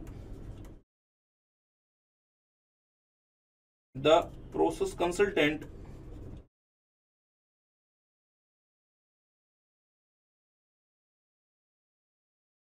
Entity needs to consider the following about him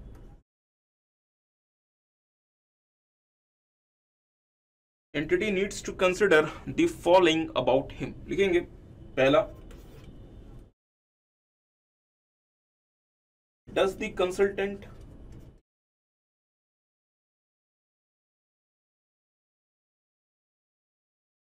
have the experience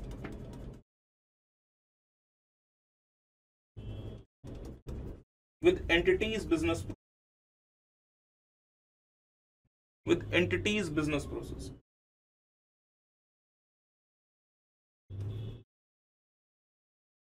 does the consultant have the experience with the entities business process दूसरा लिख लें can the consultant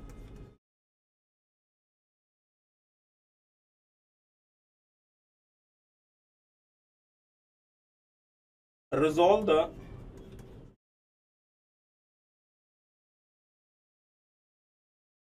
critical business issues can the consultant resolve the critical business issues तीसरा लिख लें is consultant capable of recommending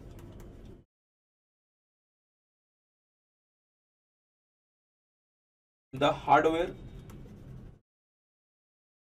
and software necessary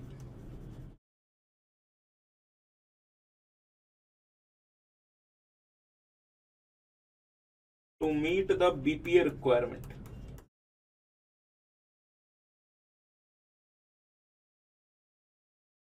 To meet the BPA requirement और चौथा लिख लें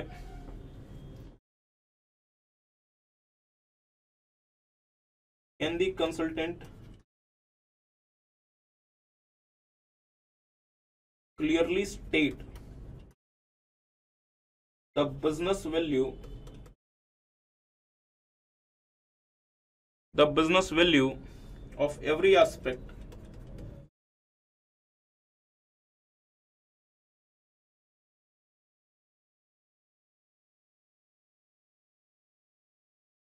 of the proposed system can the consultant clearly state the business value of every aspect of the proposed system?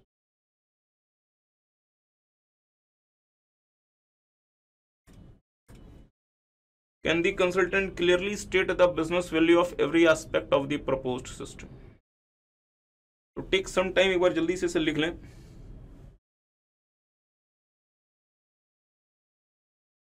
Step five engage the business process consultant but sir हमें अभी कुछ भी समझ नहीं आ रहा। डियर हम अभी तक हमने समझाना शुरू कहा है? तो हम तो चाहते हैं पहले आप लिख लें देन वी विल सी कि जो भी बातें हमने आपको लिखवाई हैं, इन सारी की सारी बातों का मतलब क्या बनता था। ओके सो आई होप आपने यहाँ तक लिख लिया। स्टेप फाइव आगे लिखेंगे step six step six step six calculate the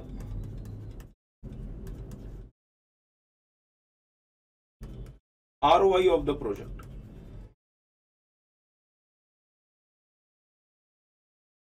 Calculate the ROI of the project. लिखेंगे। Implementation of BPA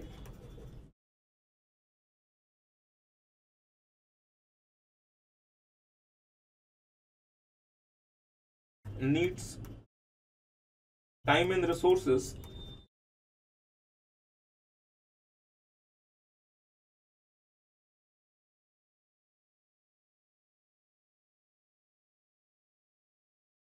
of the organization. Implementation of BPA needs time and resources of the organization. Full stop. Hence, the BPA implementation should be approved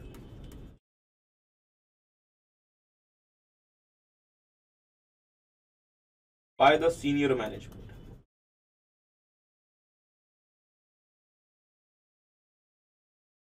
By the senior management.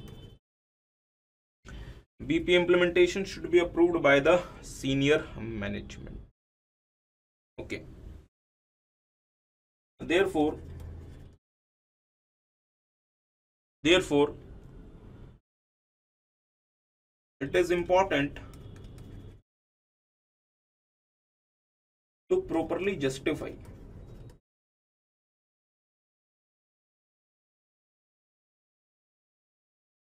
the needs of BPA to properly justify the needs of BPA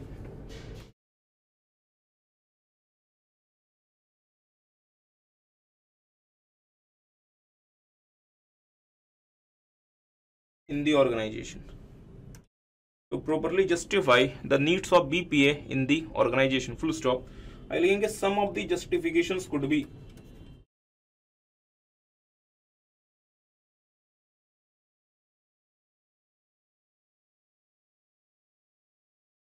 some of the justification could be some of the justification could be लिखेंगे। Saving in cost after BPA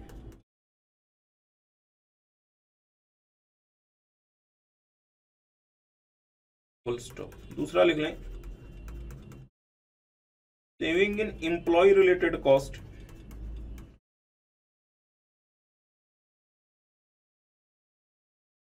after BPA saving in employ related cost after BP तीसरा लिख लें।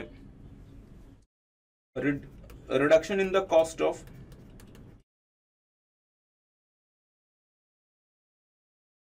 audit and lawsuits after BP reduction in the cost of audit and lawsuit after BP चौथा लिख लें। Increased customer satisfaction.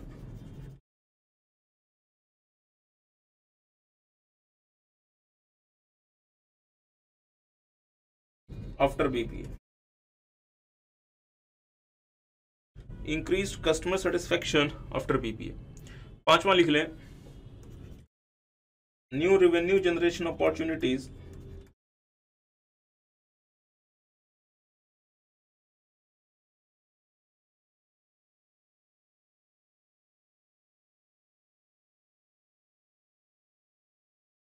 after BP new revenue generation opportunities after BP छठा लिख लें।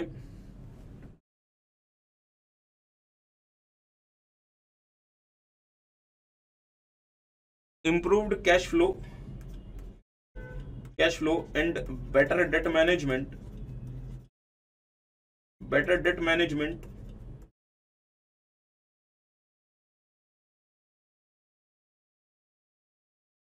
after BPA improved cash flow and better debt management after BPA और एक और last point लिख लें।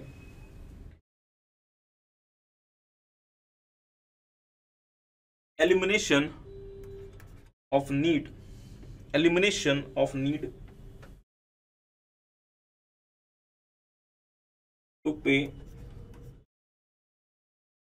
fines and penalties elimination of need to pay fines and penalties due to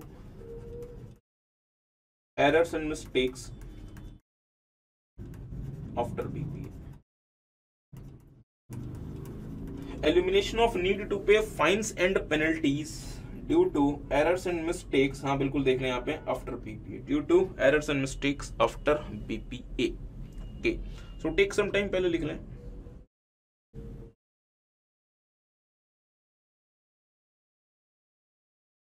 take some time एक बार लिख लें dear friends then we will see इसका मतलब आखिर क्या बनता था। वॉट इट ऑल मीन्स इन सब का मीनिंग क्या बनता था।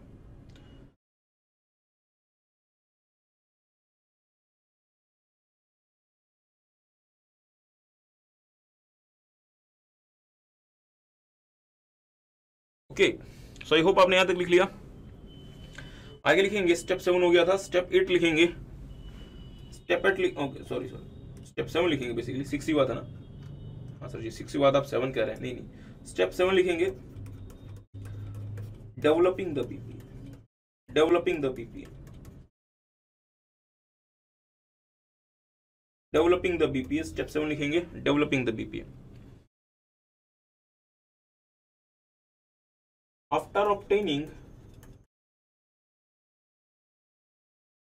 the approval from the senior management after obtaining the approval from the senior management comma the consultant the consultant will develop will develop the necessary BPA will develop the necessary BPA for the organization या for the entity. For the entity. For the entity. खत्म हो गया dear step seven खत्म हो गया। इतना छोटा सा स्टेप था डेवलपिंग द बीपी तो जिन्होंने स्टेप सेवन लिख लिया लास्ट स्टेप लिखेंगे step eight testing the BPA testing the BPA BPA को टेस्ट करना। टेस्टिंग द बीपीए लिखेंगे once developed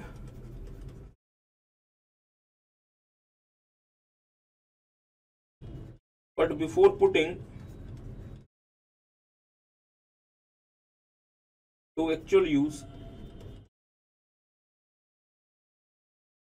actual use comma the PPA needed to be tested properly. To determine how it works how it works.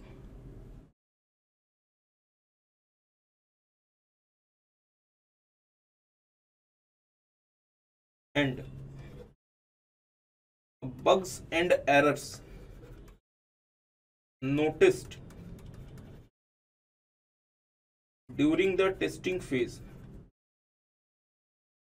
during the testing phase should be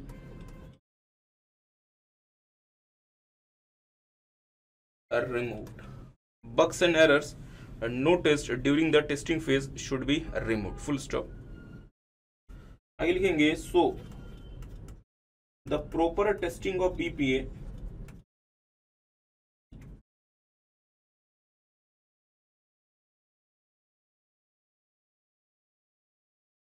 Provides opportunity provides opportunity to make improvement in BPA to make improvement in BPA prior to the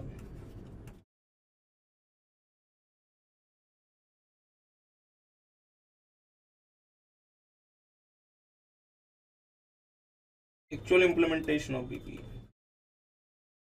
Prior to the actual implementation of BPA. Prior to the actual implementation of BPA. आगे लिखेंगे the process of testing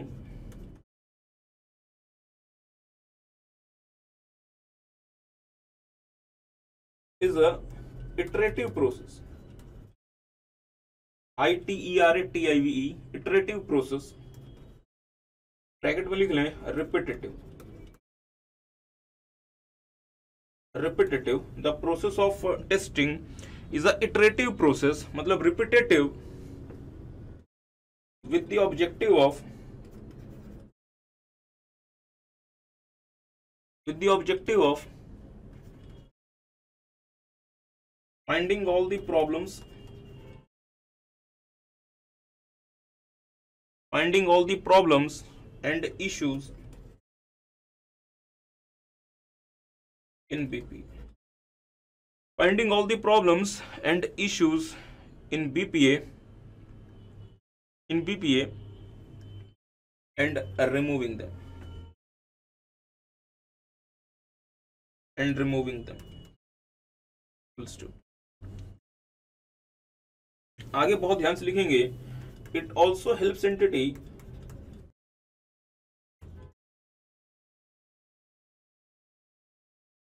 to identify the areas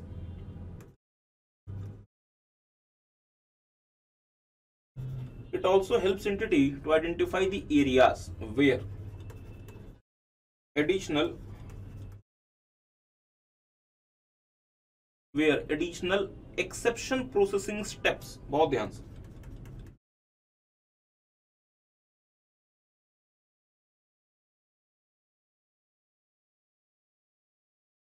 Additional exception processing steps are needed to be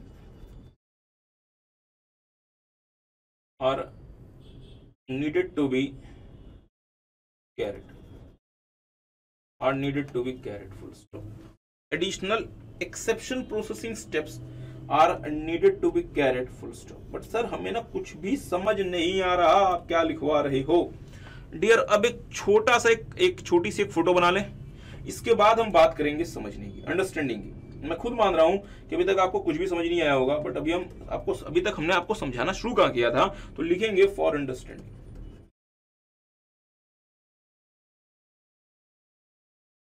एक छोटी सी photo बना लें for understanding let's ये हमारी organization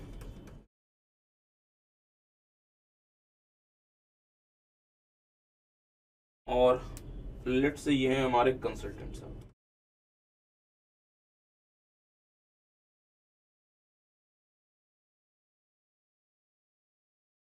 consultant इन्होंने BPA develop किया। Let's say this is the BPA developed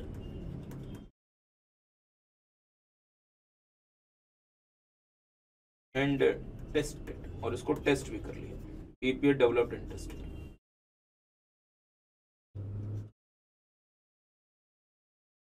let's say ये जो पार्ट है बीपीए का, वो बिल्कुल सही काम कर रहा है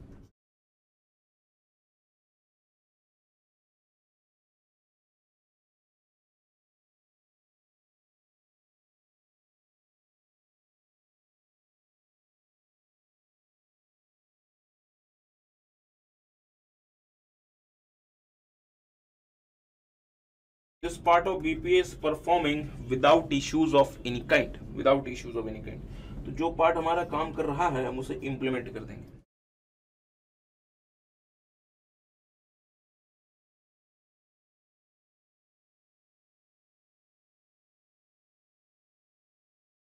This part will be implemented but परेशानी क्या हुई कि ये जो पार्ट था हमारा, ये वाला पार्ट बीपीए का ये पार्ट सही तरीके से काम नहीं कर रहा।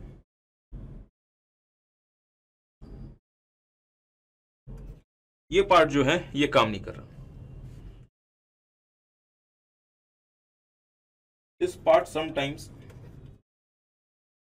इस part sometimes sometimes do not perform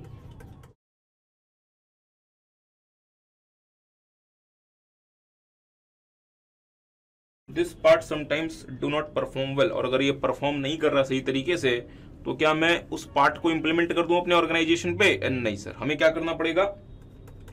additional exception processing steps लगाने पड़ेंगे।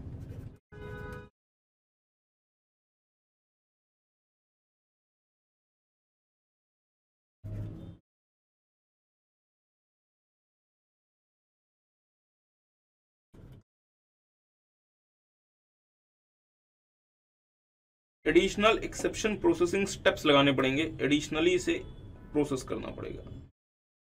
Additional exception processing steps are taken but किसके लिए? पूरे के पूरे बीपीए के लिए नहीं, सिर्फ़ उस पोर्शन के लिए जो सही से काम नहीं कर रहा। सो अब आपको कुछ भी लिखवाना नहीं है डियर फ्रेंड्स सिर्फ़ और सिर्फ़ अब हम इसे समझने का प्रयास करेंगे कि इसका मतलब क्या होगा, इसका मीनिंग क्या होगा। सो टेक सम टाइम एक बार जल्दी से ये फ़ोटो बना लें। और फिर हम इसे सिर्फ़ और सिर्फ़ समझने की बात करेंगे, सिर्फ़ और सिर्फ़ अंडरस्टैंडिंग की बात करेंगे, लिखने का काम हमारा खत्म।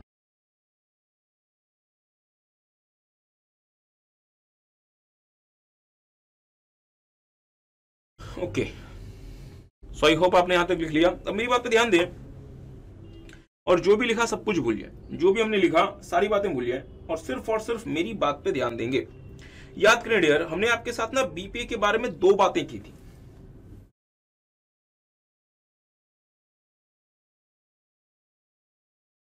हमने बीपीए के बारे में दो बातें की थी, और वो दो बातें क्या थी? पहला हमने देखा था सक्सेस क्राइटेरिया ऑफ़ बीपीए और दूसरा हमने देखा था एडवांटेजेस ऑफ़ बीपीए हमने कहा था कि हम बीपीए को एक सफल बीपीए कब मानेंगे? जब वो बीपीए चार बातें श्योर करेगा कॉन्फिडेंशियलिटी इंटीग्रिटी अवेलेबिलिटी और फाइनली दी टाइमलेस मतलब अगर ये चार बातें चार बातें हमारा बीपीए अश्योर कर देता है। तो मैं उस बीपीए को एक सफल बीपीए एक प्रॉपर बीपीए मानूँगा। अदरवाइज़ मैं उस बीपीए को एक प्रॉपर बीपीए नहीं मानूँगा। मैं उसको एक प्रॉपर बीपीए नहीं मानूँगा। ठीक बात है। फिर हम ना बीपीए के एडवांटेजेस की तरफ़ गए थे और हमने कहा था इसका कीवर्ड बनेगा TV Q I R R mean एक कंपनी है जिसका नाम है टीवी क्यू उन्होंने बीपीए लगाया, उसका एडवांटेज उन्हें यह हुआ कि उनका आई आर आर बढ़ गया। उसका एडवांटेज क्या हुआ कि उनका आई आर आर बढ़ गया, उनका आई आर आर इंक्रीज हो गया।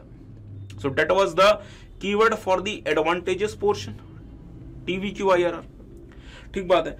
तीसरा और जो लास्ट हमें आपके साथ बीपीए के बारे में एस्पेक्ट देखना है और वही एस्पेक्ट डियर फ्रेंड सबसे महत्वपूर्ण है बीपीए के बारे में और वो है कि अगर हमें बीपीए की तरफ़ जाना है तो उसमें क्या क्या स्टेप्स इन्वॉल्व होंगे?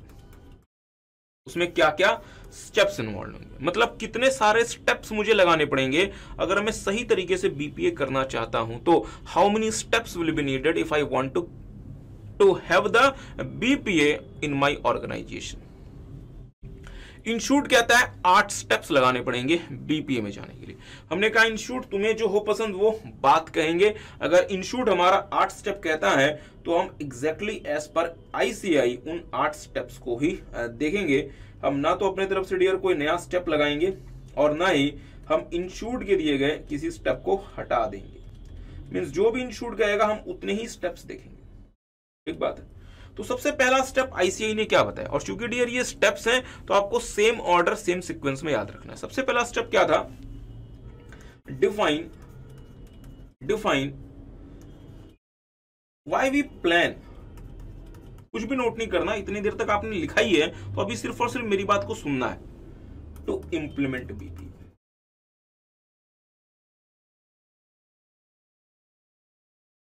define why we plan to implement BP sir ji, सोचें, आप, अगर आप अपने ऑर्गेनाइजेशन में बीपीए करना चाहते हैं तो ऐसा क्या हो गया?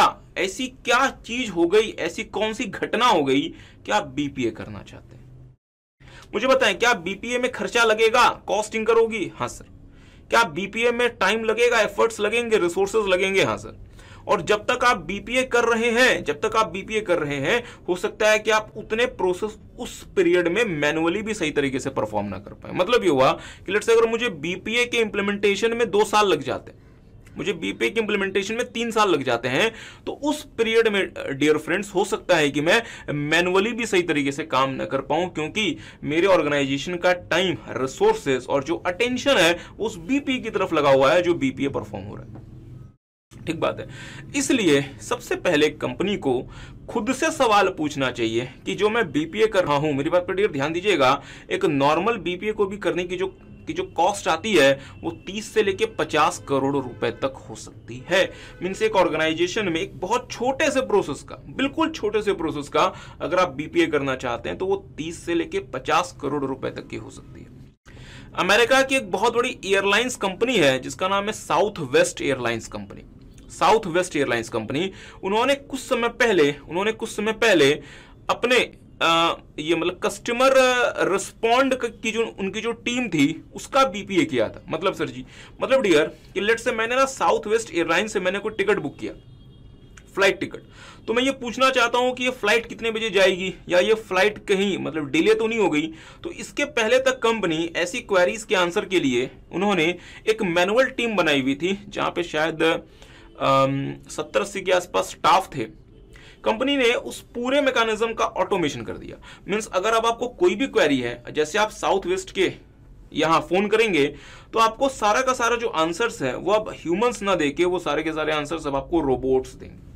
मीन्स आपने पूरे प्रक्रिया का ऑटोमेशन कर दिया और इसमें साउथ वेस्ट की जो कॉस्ट इंकर हुई थी, वो डियर शायद, जहाँ तक मुझे याद आ रहा है 800 करोड़ रुपए से लेके हज़ार करोड़ रुपए के बीच में इंकर हुई थी। बट सर आपने कहा साउथ वेस्ट तो अमेरिका की कंपनी थी। फिर आपने रुपए कैसे कह दिए? वहाँ तो आपको अमेरिकन डॉलर इस्तेमाल करना पड़ेगा। बिल्कुल सही बात है डियर उन्होंने पेमेंट डॉलर में की थी बट मैं आपको भारत में रुपए में बता रहा हूँ इंडियन करेंसी में बता रहा हूँ। तो हमने क्या देखा कि हम जितने बड़े प्रोसेस का बीपीए करेंगे, लगने वाला खर्चा उतना ज़्यादा होगा। तो अगर मैं सही तरीके से, मुझे खुद ही नहीं पता कि मैं बीपीए क्यों करना चाहता हूँ तो क्या डियर मुझे बीपीए करने का फ़ायदा मिलने वाला है? नहीं सर और मैं बेवजह अपने अच्छे खासे चलते हुए ऑर्गेनाइजेशन को खर्चे में लेकर आ जाऊँगा। यू गैस गेटिंग तो समझदार लोगों ने कहा कि ऑर्गेनाइजेशन अगर तुम्हें बीपीए की तरफ़ जाना है तो सबसे पहले खुद से सवाल पूछो कि बीपीए करना है तो क्यों बीपीए करना है? ऐसी क्या आफत आ गई या ऐसा क्या हो गया जो बीपीए करना चाहते हो? ठीक बात है। तो सबसे पहले हमें क्या देखना है? Define why we plan to implement BPA ध्यान दीजिएगा अलग अलग कंपनीज़ के बीपीए करने के अलग अलग उद्देश्य अलग अलग ऑब्जेक्टिव्स हो सकते हैं। हो सकता है कोई एफएमसीजी कंपनी किसी दूसरे उद्देश्य के लिए बीपीए करे। हो सकता है एक आईटी कंपनी अगर बीपीए कर रही है तो उसका ऑब्जेक्टिव अलग हो। हो सकता है एक ऑटोमोबाइल कंपनी अगर बीपीए कर रही है तो उसका ऑब्जेक्टिव अलग हो। चलें सर जी। ऑटोमोबाइल इंडस्ट्री में मारुति अगर बीपीए करती है, उसका ऑब्जेक्टिव अलग हो सकता है। ऑटोमोबाइल इंडस्ट्री में ही हुंडई अगर बीपीए करती है, उसका ऑब्जेक्टिव अलग हो सकता है। तो अलग अलग कंपनीज़ का बीपीए करने के ऑब्जेक्टिव्स अलग अलग हो सकते हैं। हम ये नहीं कह सकते कि दुनिया की सारी की सारी कंपनीज़ अगर बीपीए करेगी then with the same objective having the same objective we can not say like this पर हाँ कुछ जेनरिक रीजंस होते हैं, कुछ कॉमन रीजंस होते हैं बीपीए को करने के। और वो कॉमन रीजंस क्या होते हैं? जैसे कॉमन रीजन क्या हो सकते हैं? एरर इन मैनुअल प्रोसेसिंग कि सर, अभी हम मैनुअली काम कर रहे हैं, उसमें बहुत सारे एरर्स हैं। तो इससे अच्छा क्या है कि हम उसका बीपीए कर दें? पुअर कस्टमर सर्विस हम अपने कस्टमर को मैनुअल प्रोसेस होने की वजह से सर्विस नहीं दे पा रहे। बहुत ज़्यादा टाइम लग जाता है कस्टमर की किसी भी क्वेरी को रिस्पॉन्ड करने में। अगर कस्टमर हमसे कोई भी सवाल पूछता है, उसे रिस्पॉन्ड करने में it takes a huge amount of time poor cash flow and debt management हमारे पास कैश फ्लो जो है, वो बहुत पुअर हो गया है। रीजन क्या है? रीजन ये है कि हम मैनुअल तरीके से काम करते हैं। हम अपने डेट को, जिन लोगों को हमने क्रेडिट में गुड्स दिया हुआ है, उन्हें हम सही तरीके से मैनेज नहीं कर पा रहे, क्योंकि सारा कुछ हमें, अगर हमें सारा का सारा कुछ मैनुअली मैनेज करना है तो क्या मैं अपने मतलब डेटर्स को मैनेज कर पाऊँगा? नहीं sir payment process not streamlined मेरा कस्टमर मुझे पेमेंट करता है उसे मेरे अकाउंट तक पहुँचने में तीन दिन का समय लग जाता है, क्योंकि वो कैश में पेमेंट करता है कैश ट्रांसफ़र होने में वक्त लगता है, मेरे अकाउंट में आने में तीन से चार दिन का टाइम खराब हो जाता है। तो सर जी, क्या ये तीन से चार दिन की मेरी अपॉर्चुनिटी कॉस्ट नहीं चली गई? हाँ सर।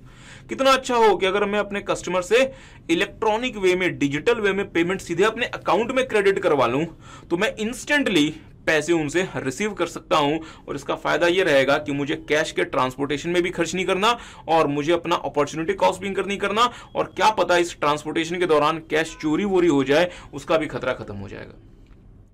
ठीक बात है? Okay.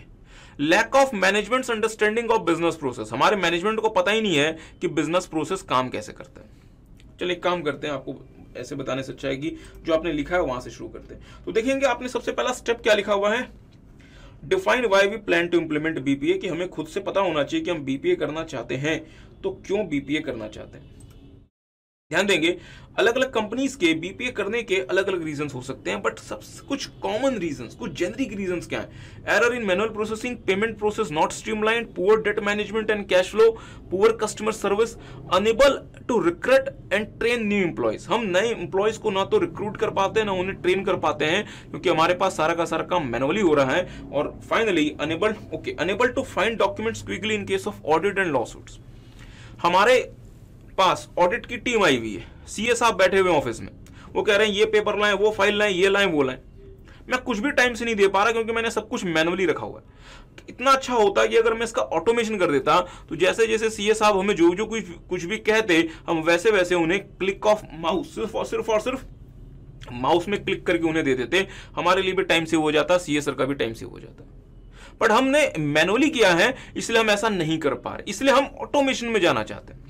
और lack of management understanding of business process कि हमारे पास एक ऐसा मैनेजमेंट है, जिसे पता ही नहीं हमारा बिज़नेस प्रोसेस क्या सर जी, ये कैसी बातें करते हैं? नहीं डियर ऐसा होता है। मुझे पता है ना, एक कंपनी का मैनेजमेंट क्या हमेशा मतलब सेम रहता है या नए लोग मैनेजमेंट में आते हैं? सर जी, नए लोग आते हैं और पुराने लोग जाते हैं। अगर आप किसी एक कंपनी के मैनेजर हैं, अगर आपको किसी दूसरी कंपनी से अच्छी सैलरी ऑफ़र हो रही है, उससे ज़्यादा सैलरी ऑफ़र हो रही है तो क्या पता आप उस कंपनी को छोड़ के किसी और कंपनी में चले जाए। तो अगर आपने जिस कंपनी को छोड़ दिया, उस कंपनी को नया मैनेजर लेकर आना पड़ेगा और उस मैनेजर के लिए आपके बिज़नेस प्रोसेस को समझना इतना आसान नहीं होगा, उसमें काफ़ी समय लग जाएगा। मीन्स मैनेजमेंट को पता ही नहीं है कि कंपनी का बिज़नेस प्रोसेस काम कैसे करता है। आई यू गाइस गेटिंग क्या मेरी बात समझ पाए? तो इससे अच्छा क्या है कि हम उसका क्या कर दें? ऑटोमेशन तो प्लीज़ मेरी बात पर ध्यान देंगे। क्वेश्चन एग्ज़ाम में आएगा what are some of the generic reason for going for BPA कि सर जी, अगर आप बीपीए में जाना चाहते हैं तो कुछ जेनरिक रीजन क्या हो सकते हैं? तो डियर इसलिए ये वर्ड बड़ा महत्वपूर्ण है जेनरिक रीजन इंस्टीट्यूट कहता है बीपीए में जाने के कुछ जेनरिक रीजन क्या क्या हो सकते हैं? इंस्टीट्यूट कहता है कि सर जी, सात जेनरिक रीजन हो सकते हैं। ध्यान दें फाइनली एक बार देख लेते हैं। In manual processing payment process not streamlined poor debt management and cash flow poor customer services unable to recruit and train new employees unable to find documents quickly in case of audit and lawsuits and finally lack of management understanding of business process कि हमारे management को पता ही नहीं है कि business process काम कैसे करता है। चलिए मेरी बात पे कृपया ध्यान दें। जैसे मैंने डियर स्टेप वन किया, मुझे एक बात कंफर्म हो गई कि नहीं, मुझे बीपीए की तरफ़ जाना है बीपीए के जाए बिना मेरा काम नहीं चलेगा। बीपीए में जाए बिना मेरा काम नहीं चलेगा। ठीक बात है। तो क्या मैं दुनिया में किसी भी प्रोसेस का ऑटोमेशन कर दूँ? या मुझे कानून समझना पड़ेगा? सर जी, कानून बीच में कहाँ से आ गया? कानून बीच में कहाँ से आ गया? जैसे फॉर एग्ज़ाम्पल जैसे डियर हमने आपको ना बीपीए के पहले एक वीडियो दिखाई थी एमेजॉन ड्रोन्स की, जहाँ अमेजॉन कंपनी पार्सल्स को ड्रोन्स की मदद से कस्टमर तक पहुँचा देती है। ड्रोन्स की मदद से कस्टमर तक पहुँचा देती है। बट इस ड्रोन के थ्रू पार्सल की मतलब डिलीवरी को अमेरिका में अप्रूवल नहीं मिली। उसका रीजन क्या था? ध्यान दीजिएगा। अमेरिकन फेडरल ब्यूरो ऑफ़ वहाँ पे शायद एफ़ होता है dear Federal Aviation, okay, Federal Aviation Bureau शायद। जैसे हमारे यहाँ होता है मतलब डीजीसीए, कि भारत में कौन सी फ़्लाइट काम करेगी, कहाँ कहाँ फ़्लाइट लेकर जा सकते हैं, नो फ़्लाइट जोन कहाँ कहाँ होगा। मीन्स आसमान में जो हवाई जहाज़ भारत देश में उड़ते हैं उसे कंट्रोल करता है डियर फ्रेंड्स डीजीसीए सीए आ गया तो खुश ना हो जाए। उसका फुल फॉर्म है dear the department general of civil aviation तो वहाँ पे सीए का मतलब चार्टर्ड अकाउंटेंट नहीं है सिविल एविएशन अमेरिका में इसे कंट्रोल करता है आ, शायद जहाँ तक मुझे याद आता है फेडरल एविएशन ब्यूरो या फेडरल ब्यूरो ऑफ़ एविएशन कुछ ऐसा। तो उन्होंने उसको अप्रूवल नहीं दिया। साथ में अमेरिकन एयर फोर्स से भी अप्रूवल नहीं मिली। सर, क्यों ऐसा हो गया? उसका रीजन ये था डियर ये बात पर ध्यान दें। एयरफोर्स को इस बात का डर था कि अगर ड्रोन्स के थ्रू अगर आप पार्सल्स को डिलीवर करना शुरू कर देंगे तो क्या पता कभी किसी टेररिस्ट के हाथ में वो वो ड्रोन लग गया और उसने पार्सल की जगह अगर बम वम गिरा दिए अमेरिका के अलग अलग शहरों में, तब तो बड़ी खतरनाक सिचुएशन हो जाएगी। मीन्स क्या हुआ? मान लीजिए कि मैं ड्रोन लेके आसमान में पहुँच गया और उसमें मैंने पार्सल की जगह बम रखा हुआ है।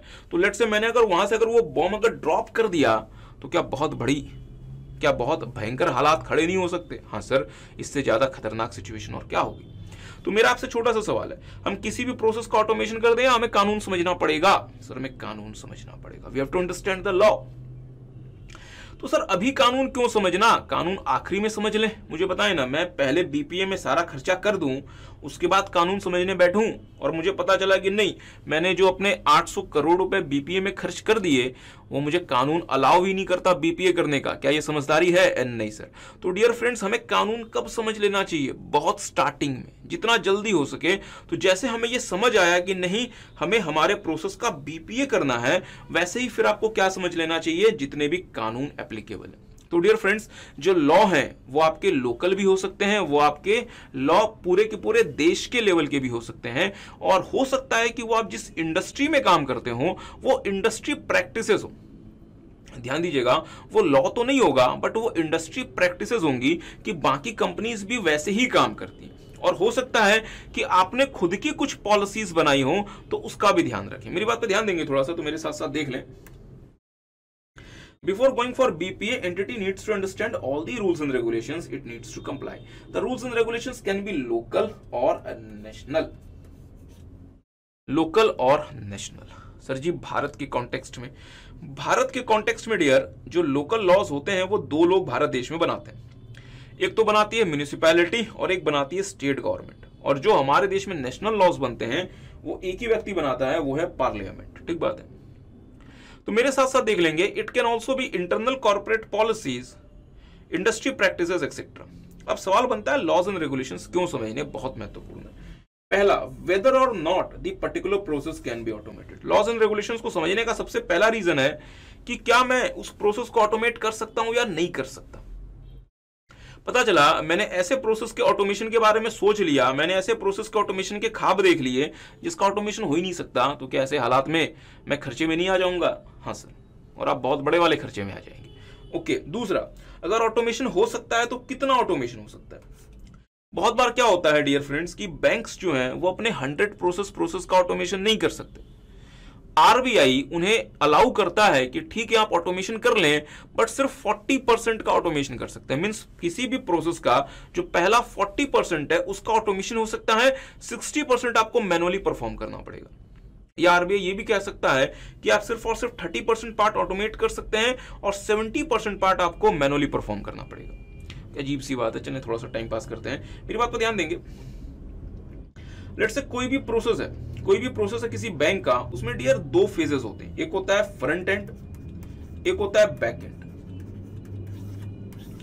फ्रंट एंड का मतलब होता है वो फ़ेज़ जहाँ पे कस्टमर बैंक से इंटरेक्ट करता है। और बैक एंड का मतलब होता है जहाँ पे बैंक उस कस्टमर के रिक्वेस्ट को प्रोसेस करता है। जैसे जैसे फॉर एग्जांपल लेट्स से मुझे क्रेडिट कार्ड चाहिए। मैं बैंक का कस्टमर हूँ, मुझे क्रेडिट कार्ड चाहिए।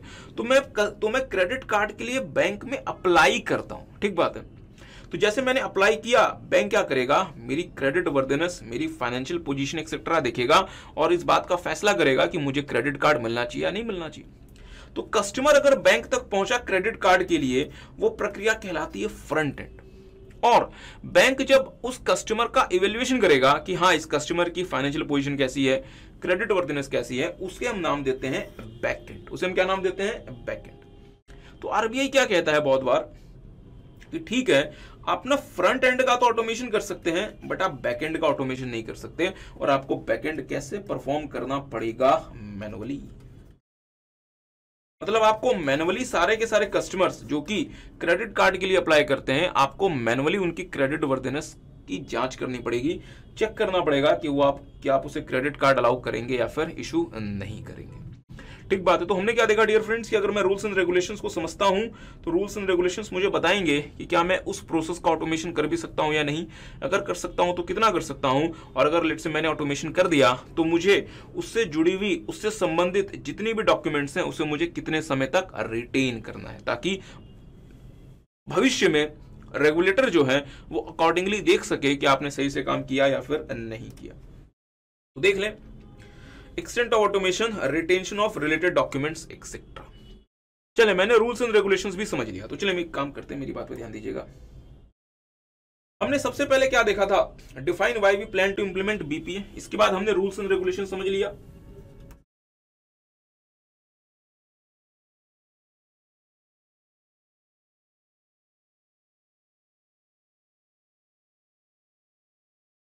Understand the rules and regulation चलिए एक, ना एक प्रैक्टिकल एग्जांपल से काम करते हैं। हमने कहा कि हम let's say PNB bank PNB bank है। हम पीएनबी बैंक हैं जो कि credit card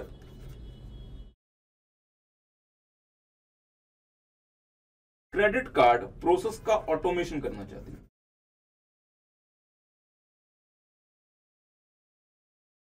PNB bank credit card process का ऑटोमेशन करना चाहती है। तो सबसे पहले पीएनबी को समझना पड़ेगा कि अगर हम क्रेडिट कार्ड का ऑटोमेशन करना चाहते हैं तो क्यों करना चाहते हैं? कंपनी को लगता है कि sir ji error in manual processing अभी हम क्रेडिट कार्ड के प्रोसेस को, अभी हम क्रेडिट कार्ड के एप्लीकेशन को मैनुअली प्रोसेस करते हैं, जिससे हमें बहुत सारे एरर्स हो जाते हैं। और बहुत बार तो हमने ऐसे लोगों को भी क्रेडिट कार्ड इशू कर दिया, जो कि क्रेडिट कार्ड को लेना जो डिजर्व नहीं करते थे, और बहुत बार हमने ऐसे लोगों को क्रेडिट कार्ड के लिए मना कर दिया, जिनसे ज़्यादा डिजर्व ही कोई नहीं करता था। तो हमें दोनों केसेस में नुकसान हो गया। अगर हम पोटेंशियल कस्टमर को क्रेडिट कार्ड इशू नहीं करते तो हमारे लिए लॉस है। और अगर हम ऐसे लोगों को क्रेडिट कार्ड इशू कर अगर हम कर दिया करते हैं जो आ, उस क्रेडिट कार्ड को डिजर्व नहीं करते फिर भी हमारे लिए लॉस है। तो कंपनी चाहती है कि हम इसका ऑटोमेशन कर दें ठीक बात है। तो इंशूट कहता है कि आपने ये समझ लिया define why we plan to implement BPA PNB कहता है हाँ सर हमने समझ लिया। सबसे पहले रूल्स एंड रेगुलेशंस देखें। देखें आरबीआई क्या कहता है। आरबीआई ने कहा कि अगर आप क्रेडिट कार्ड प्रोसेस का ऑटोमेशन करना चाहते हैं तो आप फ्रंट एंड का ऑटोमेशन कर सकते हैं, आप बैक एंड का ऑटोमेशन नहीं कर सकते। बैक एंड का ऑटोमेशन लेट से नहीं कर सकते। तो अब पीएनबी क्रेडिट कार्ड प्रोसेस में सिर्फ़ और सिर्फ़ फ्रंट एंड के ऑटोमेशन की बात करेगा, क्योंकि बैक एंड का ऑटोमेशन उसे रूल्स एंड रेगुलेशंस अलाउ नहीं करते। चले तो हमने कहा, ठीक है सर जी, कम से कम फ्रंट एंड का तो ऑटोमेशन हो जाएगा।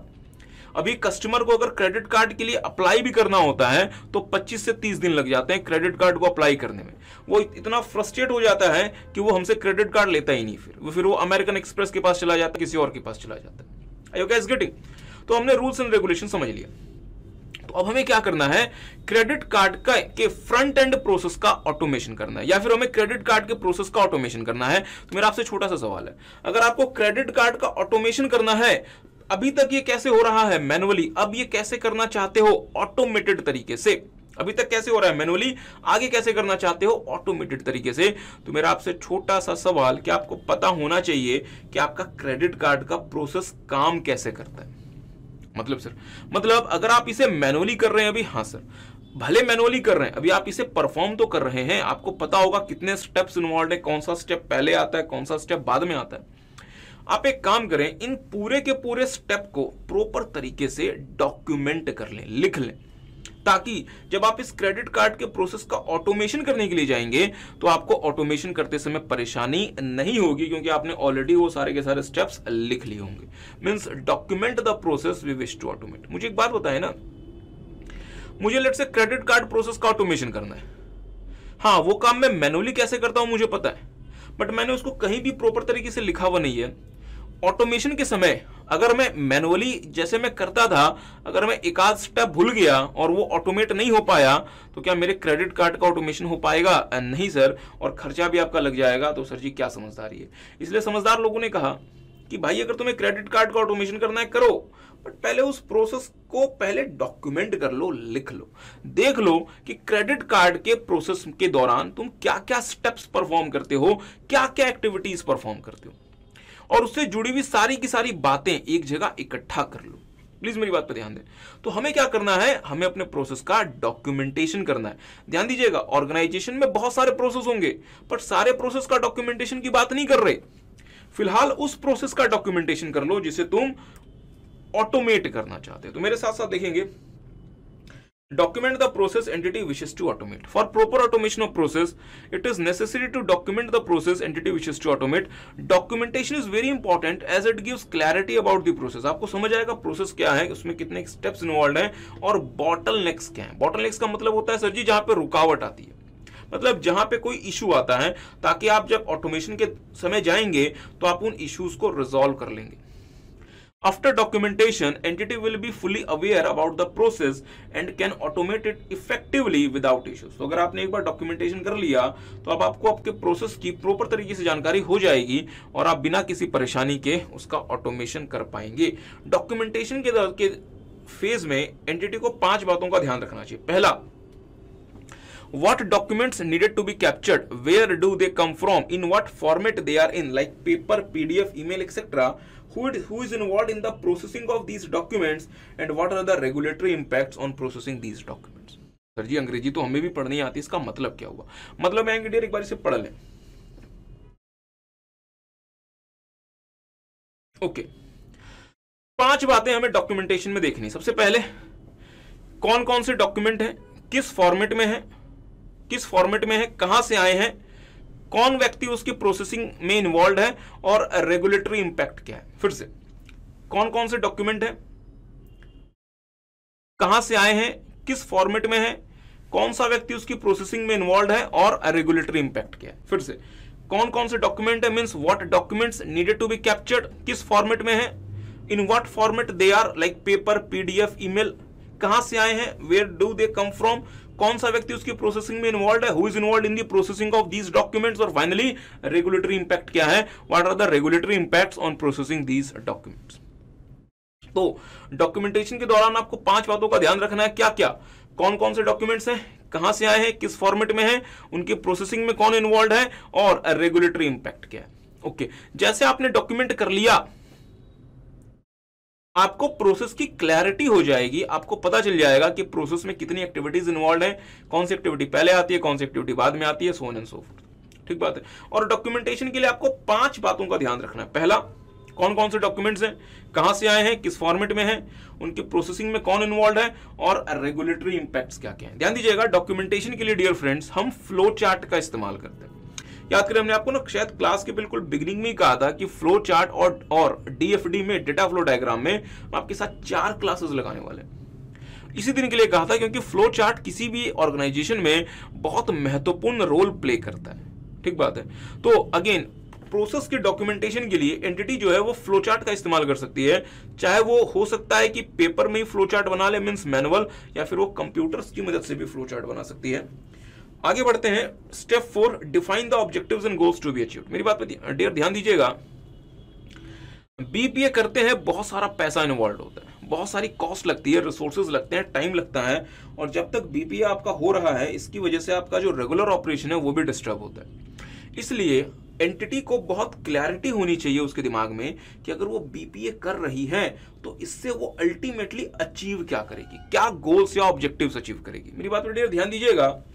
जब हम आपके साथ स्ट्रेटेजिक मैनेजमेंट करेंगे, वहाँ पे हम देखेंगे कि ऑब्जेक्टिव्स एंड गोल्स जो होते हैं, वो इंटरचेंजेबली इस्तेमाल होते हैं। मतलब ऑब्जेक्टिव और goal are one the same thing पर हाँ अगर आप गूगल करते हैं ऑब्जेक्टिव वर्सेस गोल तो आपको बहुत सारे डिफरेंस मिल जाएँगे बट वो डिफरेंस आपके एग्ज़ाम के लिए रेलिवेंट नहीं है। एग्ज़ाम के पर्पस में इंस्टीट्यूट ने हमें बताया है objectives and goals are interrelated are interchangeable ठीक बात है? ओके तो चलें फिर एक बात तो हमें पता चल गई कि ऑब्जेक्टिव्स एंड गोल्स जो होते हैं वो one and the same thing होते हैं फॉर द एग्ज़ाम तो ध्यान दें as BP exercise involves cost entity needs to be very clear about the objectives and goals it wishes to achieve through BPA goals and objective should be smart मेरी बात पर ध्यान देंगे, जो मेरे, जो मैं गोल्स और ऑब्जेक्टिव सेट करना चाहता हूँ बीपीए से के लिए, वो स्मार्ट होने चाहिए. What I mean by smart S बोले तो स्पेसिफिक जो गोल आप सेट करेंगे बीपीए के बाद या बीपीए से अचीव करने के लिए, वो गोल क्लियरली डिफाइंड होना चाहिए। मतलब स्पेसिफिक होना चाहिए कि आप सही में क्या चाहते हैं। मैं ये नहीं कह सकता बीपीए करके हम अपने ऑर्गेनाइजेशन को बहुत ज़्यादा ग्रो करा लेंगे। सर जी, ये बताओ ग्रो कराओ लोगे किस चीज़ में ग्रो कराओगे? टर्नओवर में ग्रो कराओगे कस्टमर बेस में ग्रो कराओगे मार्केट शेयर में ग्रो कराओगे एसेट्स में ग्रो कराओगे कैश में में ग्रो कराओगे एग्जैक्टली exactly बताओ किस चीज़ में ग्रो कराओगे। Okay measurable objective should be measurable कितने परसेंट ग्रो कराओगे, उसको बताना पड़ेगा. अटेनेबल ऐसा नहीं कि आप कहेंगे कि हम ना पाँच हज़ार परसेंट ग्रो करा लेंगे, नहीं. सिर्फ़ और सिर्फ़ बीपीए के लिए फंड लेने के लिए, सिर्फ़ और सिर्फ़ बीपीए करने के लिए, पैसे लेने के लिए अनअटेनेबल और अनरियलिस्टिक ऑब्जेक्टिव सेट नहीं करना, इससे ऑर्गेनाइजेशन का नुकसान हो जाएगा. रेलेवेंट गोल्स और ऑब्जेक्टिव्स ऐसे होने चाहिए जो आपके लिए रेलेवेंट हो। रेलेवेंट का मतलब हुआ एंटिटी को उन गोल्स और ऑब्जेक्टिव्स की रिक्वायरमेंट हो। मतलब ये हुआ कि अगर मैं मैं ये ना बोलूँ कि हमें बीपीए करने दें, भारत अगला वर्ल्ड कप जीत जाएगा। हमारा ऑब्जेक्टिव ये नहीं होना चाहिए क्योंकि आपके ऑर्गेनाइजेशन का वो ऑब्जेक्टिव आपके लिए रेलेवेंट नहीं है। भारत अगर वर्ल्ड कप जीत जाता है डियर बहुत अच्छी बात है बट अगर आप एक एक ऑटोमोबाइल कंपनी है, इससे उस, इस बात का क्या लेना देना? तो ऐसे गोल्स स्टैब्लिश करें जो आपके लिए रेलेवेंट है। टाइमली फाइनली आपको देखना पड़ेगा कि जो भी आप गोल्स या ऑब्जेक्टिव्स स्टैब्लिश कर रहे हैं, वो कितने समय में अचीव होगा। ऐसा नहीं कि जितना जल्दी हो सके हम अपना टर्नओवर बढ़ा लेंगे। नहीं साहब स्पेसिफिकली बताओ कितने समय में, ताकि अगर आप उस समय तक उसे नहीं अचीव कर पाओगे तो फिर आपसे सवाल पूछे जाएँगे कि आपने क्यों नहीं अचीव किया। तो आपको स्पेसिफिकली टाइम फ्रेम बताना पड़ेगा। तो मेरी बात पे थोड़ा सा ध्यान दें। अगर मैं गोल्स एंड ऑब्जेक्टिव स्टैब्लिश करना चाहता हूँ बीपीए के लिए, उसके पाँच उसमें, उसके पाँच फीचर्स होने चाहिए। स्मार्ट होना ओके स्पेसिफिक होना चाहिए मेजरेबल होना चाहिए अटेनेबल होना चाहिए रेलिवेंट होना चाहिए और टाइमली होना चाहिए। मतलब एक टाइम फ्रेम के अकॉर्डिंग होना चाहिए। एग्ज़ाम्पल के रूप में A limited wants to increase its turnover by 20 percent in next three years through BPA तो डियर फ्रेंड्स जैसे मैंने टर्नओवर कहा ए लिमिटेड जैसे टर्नओवर कहती है ए लिमिटेड ने स्पेसिफिकली बता दिया कि हम बीपीए के थ्रू क्या अचीव करना चाहते क्या अचीव करना चाहते हैं। मतलब हम बीपीए के थ्रू किसे बेहतर बनाना चाहते हैं सर जी अपने टर्नओवर को। मीन्स हमने स्पेसिफिकली ये बात बता दी कि हम बीपीए के थ्रू टर्नओवर को बेहतर बनाना चाहते हैं। ओके okay, क्या टर्नओवर मेरे लिए ऑर्गेनाइजेशन के लिए रेलेवेंट है? हाँ सर टर्नओवर आपके ऑर्गेनाइजेशन के लिए रेलेवेंट भी है। जैसे मैंने टर्नओवर कहा, ये स्पेसिफिक हो गया और ये रेलेवेंट हो गया। जैसे मैंने कहा, मैं अपने टर्नओवर को 20 परसेंट बढ़ाना चाहता हूँ, मैंने इसे मेजर करके बता दिया कि एग्जैक्टली exactly मैं टर्नओवर कितना बढ़ाना चाहता हूँ। मैंने ये नहीं कहा, जितना हो सके उतना टर्नओवर बढ़ाएँगे। नहीं साहब एग्जैक्टली exactly बताओ कितना बढ़ाना चाहते हो। और 20 परसेंट हो सकता है मेरे लिए अटेनेबल भी हो। हाँ अगर मैं यहाँ पे 200 परसेंट लिख दूँगा तो क्या पता वो अटेनेबल लेट से हो सकता है ना हो। जैसे मैंने लिखा है नेक्स्ट थ्री इयर्स तो मैंने डियर टाइम स्पेसिफाई कर दिया। मैंने टाइमली इस चीज़ को मेंशन कर दिया कि मैंने टाइम बाउंड मैंने बता दिया कि एग्जैक्टली exactly कितने समय में मैं अपना टर्नओवर बढ़ाना चाहता हूँ। तो इस वाले एग्जांपल में ऑब्जेक्टिव्स एंड गोल्स के पाँचों महत्वपूर्ण फीचर्स का ज़िक्र हो गया कि वो स्पेसिफिक होंगे मेजरेबल होंगे अटेनेबल होंगे रेलिवेंट होंगे और टाइमली होंगे। ठीक बात? चले, जैसे आपने ऑब्जेक्टिव्स एंड गोल्स स्टैब्लिश कर लिए बीपीए के अब आपको बीपीए के लिए अब आपके पास परेशानियाँ कम हो रही हैं। अब आपको एक ऐसे व्यक्ति को एंगेज करना पड़ेगा जो बीपीए आपको करके दे। मतलब सर मतलब डियर फ्रेंड्स मुझे बीपीए करना है। तो क्या मैं खुद से बीपीए करना शुरू कर दूँ? मुझे क्या बीपीए करना पता होगा? मुझे क्या बीपीए करना मैं जानता हूँगा नहीं सर या मुझे किसी एक्सपर्ट को बुलाना पड़ेगा? एक्सपर्ट को बुलाना पड़ेगा। तो जिस व्यक्ति को आप एंगेज करते हैं ताकि वो व्यक्ति आके आपके ऑर्गेनाइजेशन में बीपीए करे, वो कहलाता है बिज़नेस प्रोसेस कंसल्टेंट वो कहलाता है बिज़नेस प्रोसेस कंसल्टेंट और एंटिटी को बीपीए करने के लिए क्या करना पड़ेगा? किसी बिज़नेस प्रोसेस कंसल्टेंट को एंगेज करना पड़ेगा। और आपको जान की खुशी होगी, भारत देश में बहुत सारे चार्टर्ड अकाउंटेंट्स हैं जो कि बिज़नेस प्रोसेस कंसल्टेंसी की भी सर्विसेज़ देते हैं।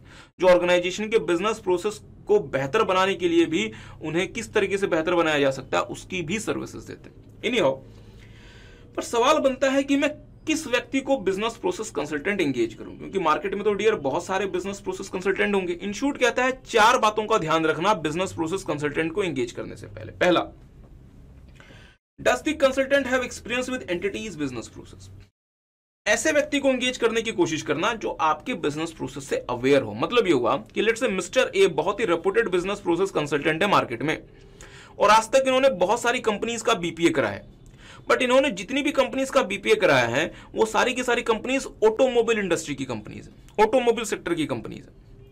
मेरी कंपनी एफएमसीजी सेक्टर की कंपनी है। तो डियर एफएमसीजी सेक्टर का प्रोसेस अलग होता है मैकेनिज्म अलग होता है ऑटोमोबाइल का मैकेनिज्म अलग होता है प्रोसेस अलग होता है। तो मैं मिस्टर ए को एंगेज करना मेरे लिए कोई ज़्यादा समझदारी नहीं होगी। भले उन्होंने 25 ऑटोमोबाइल कंपनीज़ का बीपीए कराया है। मैं किसी ऐसे कंसल्टेंट को को सर्च करूँ, भले उसने दो ही कंपनीज़ का बीपीए कराया हो बट उसने एफएमसीजी कंपनी का बीपीए कराया हो। क्योंकि मेरी कंपनी एफएमसीजी है तो अगर मैं किसी ऐसे कंसल्टेंट को सर्च कर पाने में कामयाब होता हूँ, जो एक एफएमसीजी कंपनी का जिसने बीपीए किया होगा, मुझे उससे फ़ायदा होगा। Compare to a business process consultant जिसने ऑटोमोबाइल कंपनी का बीपीए किया हुआ है, हो सकता है बहुत सारी ऑटोमोबाइल कंपनीज़ का बीपीए किया होगा बट मेरे किस काम का? है यू गैस गेटिंग तो हमें देखना पड़ेगा कि क्या हमारे बिज़नेस प्रोसेस का एक्सपीरियंस उस कंसल्टेंट को है या नहीं है। दूसरा can the consultant resolve the critical business issues क्या कंसल्टेंट क्रिटिकल बिज़नेस इश्यूज़ जो मेरे ऑर्गेनाइजेशन में हम फेस कर रहे हैं, उसे रिजोल्व कर सकता है या रिजोल्व नहीं कर सकता? मुझे बताया ना बीपीए आप करेंगे, किसकी मदद से करेंगे? सर जी कंप्यूटर्स की मदद से। और डियर फ्रेंड्स कंप्यूटर्स हमने शायद आपके साथ पहले भी बात की थी। Computer is nothing but hardware and software तो अगर आपको बीपीए करना है with the help of computers तो आपको क्या लगाने पड़ेंगे ऑर्गेनाइजेशन में? हार्डवेयर और सॉफ्टवेयर तो क्या वो जो कंसल्टेंट है, क्या उसको हार्डवेयर और सॉफ्टवेयर का पता है, जिसके थ्रू मैं अपना बीपीए कर सकता हूँ? मतलब क्या वो मुझे हार्डवेयर और सॉफ्टवेयर की रिकमेंडेशन दे सकता है कि मुझे कौन सा हार्डवेयर लगाना चाहिए, मुझे कौन सा सॉफ्टवेयर लगाना चाहिए, ताकि मैं सही प्रकार से बीपीए कर सकूँ? अब लेट से मान लीजिए उस मतलब कंसल्टेंट ने आपको बहुत महँगे हार्डवेयर और बहुत महँगे सॉफ्टवेयर के बारे में रिकमेंडेशन दे दिया, जो कि आपके ऑर्गेनाइजेशन में जिसकी रिक्वायरमेंट भी ना हो तो क्या मैं बेवजह का खर्चा कर दूँ? नहीं सर इंस्टीट्यूट कहता है कि उस कंसल्टेंट को सिर्फ़ हार्डवेयर सॉफ्टवेयर का रिकमेंडेशन नहीं देना, साथ में उसको बताना पड़ेगा कि जो वो आपको हार्डवेयर सॉफ्टवेयर का रिकमेंडेशन दे रहा है, उस हार्डवेयर सॉफ्टवेयर का आपके बिज़नेस के लिए भी कोई वैल्यू है या नहीं? Means can the consultant clearly state the business value of every aspect of the proposed system means आपसे जो वो खर्चा करवा रहा है बीपीए के नाम पे, क्या आपको वो उस कॉस्ट की जो वो इंकर करवा रहा है, उसकी बिज़नेस वैल्यू भी बता रहा है या नहीं बता रहा है। जैसे फॉर एग्ज़ाम्पल कंसल्टेंट कहता है कि एक पर्टिकुलर हार्डवेयर खरीद लो, वो 25 लाख रुपए का आएगा। मैं 25 लाख रुपए लगाने को तैयार हूँ। शर्त सिर्फ़ यह है शर्त सिर्फ़ ये है कि जो मैं हार्डवेयर खरीद रहा हूँ, उसका मेरे ऑर्गेनाइजेशन को कोई फ़ायदा होना चाहिए। अगर उस हार्डवेयर का डियर फ्रेंड्स मेरे ऑर्गेनाइजेशन को कोई फ़ायदा नहीं हो रहा, अगर उस हार्डवेयर से भले मैं 25 लाख रुपए लगा दूँ, मेरे ऑर्गेनाइजेशन को कोई बेनिफिट नहीं हो रहा क्या मुझे 25 लाख रुपए लगाने चाहिए। नहीं सर तो आपको अगर कंसल्टेंट कहता है, ये हार्डवेयर खरीद लो, वो सॉफ्टवेयर खरीद लो, उस कंसल्टेंट को आपको ये भी बताना पड़ेगा कि जो वो अलग अलग हार्डवेयर सॉफ्टवेयर की जानकारी दे रहा है, उसका आपके ऑर्गेनाइजेशन को कोई बेनिफिट होना भी है या नहीं होना। चले तो जैसे आपके कंसल्टेंट ने आपको सारे के सारे हार्डवेयर सॉफ्टवेयर के बारे में बता दिया मीन्स आपकी कितनी आपकी कितनी कॉस्ट आएगी बीपीए के बारे में, वो आपको कंसल्टेंट ने बता दिया कि सर जी, मेरी फ़ीस कितनी होगी हार्डवेयर कितने का आएगा सॉफ्टवेयर कितने का आएगा। मीन्स हमें बीपीए का खर्चा पता चल गया कि हमें बीपीए में इन्वेस्ट कितना करना है। हमें बीपीए में इन्वेस्ट कितना करना है। मेरा सवाल आपसे यह है कि मैं आँख बंद करके इन्वेस्ट कर दूँ? तो मुझे देखना पड़ेगा कि इस बीपीए से मुझे सही में फ़ायदा कितना होगा और मैं फिर उस फ़ायदे के और उस इन्वेस्टमेंट को आपस में कंपेयर करके ROI कैलकुलेट करूँगा बीपीए प्रोजेक्ट का। मतलब सर जी प्लीज़ मेरी बात को ध्यान देंगे चलिए एक बार स्टार्ट से देखते हैं। स्टेप्स इन बीपीए हमने कहा सबसे पहले define why be plan to implement BPA दूसरा understand the rules and regulations तीसरा तीसरा क्या था? Document the process we wish to automate चौथा क्या था? हाँ ऑब्जेक्टिव्स एंड गोल्स पांचवा क्या था? Engage the business process consultant okay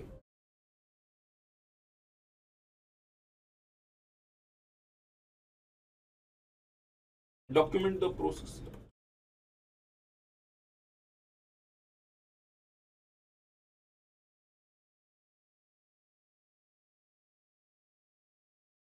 पांचवा क्या था?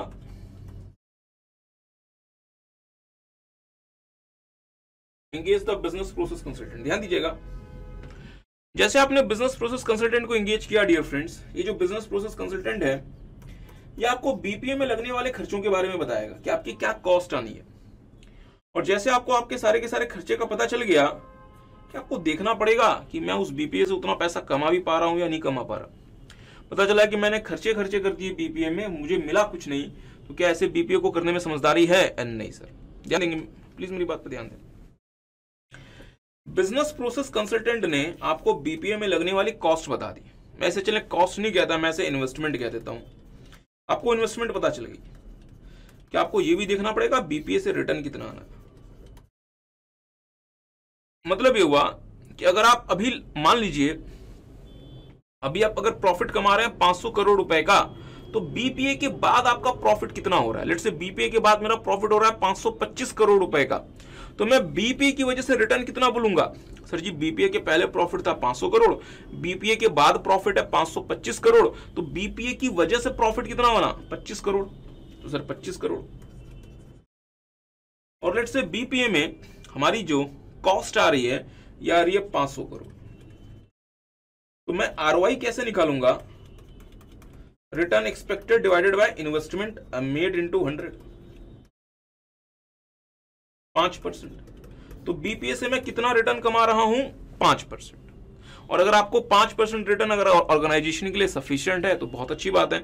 बट अगर ऑर्गेनाइजेशन को लगता है कि पाँच परसेंट रिटर्न हमारे लिए सफिशियंट नहीं है तो फिर ऑर्गेनाइजेशन बीपीए के प्रोजेक्ट में आगे नहीं बढ़ेगी। ध्यान देंगे। बीपीए के प्रोजेक्ट में आगे बढ़ने से पहले मुझे बीपीए में लगने वाले खर्चे और बीपीए से होने वाले फ़ायदे दोनों का कंपैरिजन करना पड़ेगा और आरओआई निकालना पड़ेगा। और उस आर के बाद फिर मैं देखूँगा कि मुझे बीपीए में जाना चाहिए या फिर नहीं जाना चाहिए। बीपीए में सही में पैसे लगाने चाहिए या फिर नहीं लगाने चाहिए। देखेंगे मेरे साथ साथ। Implementation of BPA needs time and resources of the organization hence BPA implementation should be approved by the senior management इसलिए सर जी टॉप मैनेजमेंट से अप्रूवल मिलने चाहिए। Therefore, it is important to properly justify the needs of BPA in the organization. इसलिए organization में BPA की जरूरतों को justify करना पड़ेगा कि क्या सही में बीपीए की रिक्वायरमेंट है, या फिर बीपीए के बिना भी काम चल सकता है। क्योंकि कंसल्टेंट ने आपको खर्चे बता दिए। अब देखें कि क्या मैं पैसे कमा भी रहा हूँ या मैं खर्चे ही खर्चे कर दूँगा, sir? Some of the justification could be BPA को आगे लेके जाने के लिए कुछ जस्टिफिकेशन क्या हो सकती है? मीन बीपीए से कमाई कहाँ से हो सकती है? पहला saving in cost after BPA sir BPA कर देंगे तो खर्चा कम हो जाएगा। तो जितना भी खर्चा कम हुआ, उतना मेरे लिए इनकम है बीपीए से। Saving in employee related cost after BPA BPA करने के बाद इंप्लॉय से जुड़े हुए खर्चे कम हो जाएँगे। Reduction in the cost of audit and lawsuits मतलब ये हुआ कि जो सरकार आपके ऊपर स्पेशल ऑडिट लगवा दिया करती थी क्योंकि आप सही से काम नहीं कर रहे। या जो आपके खिलाफ केस हो जाया करते थे, क्योंकि आप एरर से काम करते हैं मिस्टेक्स आते हैं, वो आपके ऊपर नहीं होंगे तो उसका खर्चा बच जाएगा। कस्टमर की सेटिस्फेक्शन बढ़ जाएगी बीपीए के बाद, जिसकी वजह से मैं नए नए रेवेन्यूज कमा सकता हूँ बीपीए के बाद। तो वो भी मुझे फ़ायदा है। बीपीए के बाद मैं अपने कैश फ्लो को मैनेज कर सकता हूँ और मैं डेट को सही तरीके से मैनेज कर सकता हूँ। और फाइनली बीपीए के बाद जो एरर्स और मिस्टेक्स की वजह से मुझे फाइन्स पे करनी पड़ती थी पेनल्टीज पे करनी पड़ती थी जो मुझे कैश देना पड़ता था, वो मुझे नहीं देना पड़ेगा तो वो उसका मुझे एडवांटेज ये हो जाएगा कि मैं, कि वो मेरे लिए बीपीए से होने वाला बेनिफिट हो गया। तो डियर फ्रेंड्स इन सातों चीज़ों से मुझे बीपीए से होने वाला बेनिफिट पता चलेगा, ध्यान देंगे। इन सातों चीज़ों से मुझे बीपीए से होने वाला बेनिफिट पता चलेगा और मुझे पॉइंट नंबर फाइव में बी में बिज़नेस प्रोसेस कंसल्टेंट ने बीपीएम में लगने वाले खर्चे के बारे में बताया है और मैं दोनों का कंपैरिजन करके आर निकाल लूँगा। आर ऑफ़ दी प्रोजेक्ट ठीक बात है? और लेट्स अगर मेरा आरओआई मुझे, जो भी मुझे रिक्वायर्ड आर चाहिए, अगर वो मुझे दे रहा है तो फिर मैं अब कंसल्टेंट को बोलूँगा कि, ठीक है कंसल्टेंट एक काम कर बीपीए को हमारे लिए क्रिएट कर दे डेवलप कर दे। और जैसे बीपीए हमारा कंसल्टेंट बना के तैयार कर देगा, क्या मैं डायरेक्टली उस बीपीए को अपने ऑर्गेनाइजेशन में लगा दूँ? या उस बीपीए को ऑर्गेनाइजेशन में लगाने से पहले मुझे उसकी प्रॉपर तरीके से जाँच करनी चाहिए? सर, उसकी प्रॉपर तरीके से जाँच कर लो। क्या पता वो बीपीए जो है, उसमें एरर्स हो, उसमें बक्स हो, उसमें कोई इशू हो। तो जैसे डियर फ्रेंड्स मेरा बीपीए डेवलप हो गया, उस बीपीए को इंप्लीमेंट करने से पहले हमें उस बीपीए को प्रॉपर तरीके से टेस्ट कर लेना चाहिए जाँच कर लेनी चाहिए। तो मेरे साथ साथ देखेंगे BPA needs to be tested properly to determine how it works and bugs and errors uh, noticed during the testing phase should be removed. इसका मतलब ये हुआ कि जब आपने BPA बना लिया उसे ऑर्गेनाइजेशन में इंप्लीमेंट करने से पहले उसकी सही तरीके से जाँच करो जैसे फॉर एग्जांपल डियर फ्रेंड्स हमारे देश में लेट से कोई नई प्रकार की मेट्रो ट्रेन शुरू हुई। तो जैसे मेट्रो बन गई, क्या लोगों के लिए खोल दी जाती है या पहले ट्रायल रन होता है? सर, पहले ट्रायल रन होता है और बहुत दिनों तक डियर फ्रेंड्स ट्रायल रन होता है। और ट्रायल रन के दौरान इस चीज़ को देखा जाता है कि क्या मेट्रो जो है वो सही तरीके से परफॉर्म कर रही है या नहीं कर रही। और लेट से अगर मेट्रो सही तरीके से परफॉर्म नहीं कर रही तो जो भी एरर्स और जो भी बग्स होते हैं उसके परफॉर्मेंस में वो धीरे धीरे करके रिमूव कर दिए जाते हैं। ठीक बात है। और मुझे बताया ना, एक बार ट्रायल रन होता है, एक दिन के लिए, या फिर बहुत दिनों तक ट्रायल रन होता है। सर, बहुत दिनों तक ट्रायल रन होता है। एग्ज़ाम्पल चेंज करते हैं। कंपनी को कोई नई कार मार्केट में लेकर आनी है तो जैसे उनकी फैक्ट्री में पहली कार बन गई मार्केट में पहुँच जाएगी, या कंपनी पहले कुछ गाड़ियाँ बनाकर उसे ट्रायल रन करती है। सर ट्रायल रन करती है और इवन छह छह महीने तक ट्रायल रन कर सकती है। छह छह महीने तक डियर फ्रेंड्स ट्रायल रन हो सकता है उस कार का। और उस ट्रायल रन के दौरान कंपनी देखती है कि इस कार में क्या क्या बग्स और क्या क्या एरर्स आ रहे हैं ताकि कंपनी उन सारे बग्स और एरर्स को दूर कर सके। ठीक बात है? तो इसका एडवांटेज ये हुआ कि बीपीए को एक्चुअल इंप्लीमेंट करने से पहले उसके टेस्टिंग के दौरान मैं उसके बग्स एंड एरर्स को आइडेंटिफाई करके रिमूव कर दूँगा। इससे डियर फ्रेंड्स मैं बीपीए को और ज़्यादा इंप्रूव कर सकता हूँ बेहतर बना सकता हूँ। टेस्टिंग जो होगी डियर फ्रेंड्स वो सिर्फ़ एक बार नहीं होगी, वो मल्टीपल टाइम्स होगी। मतलब ये हमारा इटरेटिव प्रोसेस है, जो बार बार रिपीट होगा और टेस्टिंग का ऑब्जेक्टिव ये होगा कि जितने भी बग्स और एरर्स मिले हैं, वो सारे के सारे दूर होने चाहिए। और कई बार हमें डियर फ्रेंड्स टेस्टिंग के दौरान एडिशनल एक्सेप्शन प्रोसेसिंग स्टेप्स भी लेकर आने पड़ते हैं। इसका मतलब ये हुआ लेट से हमने बीपीए बनाया। इस बीपीए का 80 परसेंट पोर्शन बहुत सही से काम कर रहा है। पर जो 20 परसेंट पोर्शन है, उसमें कभी कभार कोई बग या एरर आ जाता है। बट जो 80 परसेंट पोर्शन है it is working very fine तो हम उस 80 परसेंट पोर्शन को इंप्लीमेंट कर देंगे ऑर्गेनाइजेशन में। क्योंकि ये सही से काम कर रहा है तो इसको अननेसेसरी रोकने का क्या फ़ायदा? बट जो ये 20 परसेंट प्रोसेस है, जिसमें कभी कभार बग और एरर आ जाया करते हैं, उसे हमें डायरेक्टली ऑर्गेनाइजेशन में इंप्लीमेंट नहीं करना चाहिए। और इसके लिए हमें क्या करना चाहिए? एडिशनल एक्सेप्शन प्रोसेसिंग स्टेप्स लेने चाहिए। सिर्फ़ किसके लिए? उस पोर्शन के लिए जो सही प्रकार से काम नहीं कर रहा। और वो पोर्शन जो सही प्रकार से काम कर रहा है, उसे ऑर्गेनाइजेशन में इंप्लीमेंट कर दो बिना किसी परेशानी के। आई होप आपको बात समझ आई। तो एक काम करेंगे, जल्दी से डियर फ्रेंड्स एक बार ये आठों प्रोसेसेस को, एक बार इसका आठों स्टेप्स को एक बार ब्रीफली देख लें देन इसे हम थोड़ा सा समराइज करेंगे और फिर हम आगे प्रोसीड करेंगे। एक बार इन्हें ब्रीफली देख लें जो आपने अपने रजिस्टर में लिख, अपने आ, मतलब बुक में लिखा हुआ है then we will proceed further जल्दी से एक बार ब्रीफली देख लें then we will proceed further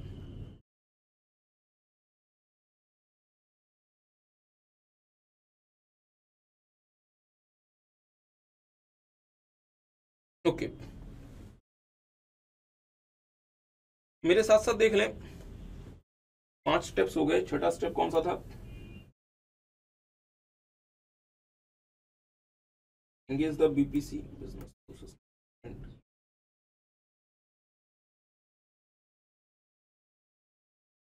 calculate the ROI of the project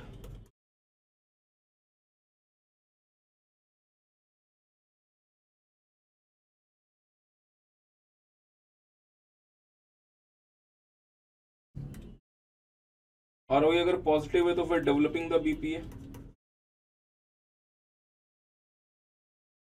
और उसे इम्प्लीमेंट करने से पहले उसकी प्रॉपर तरीके से जाँच कर लें means testing the PP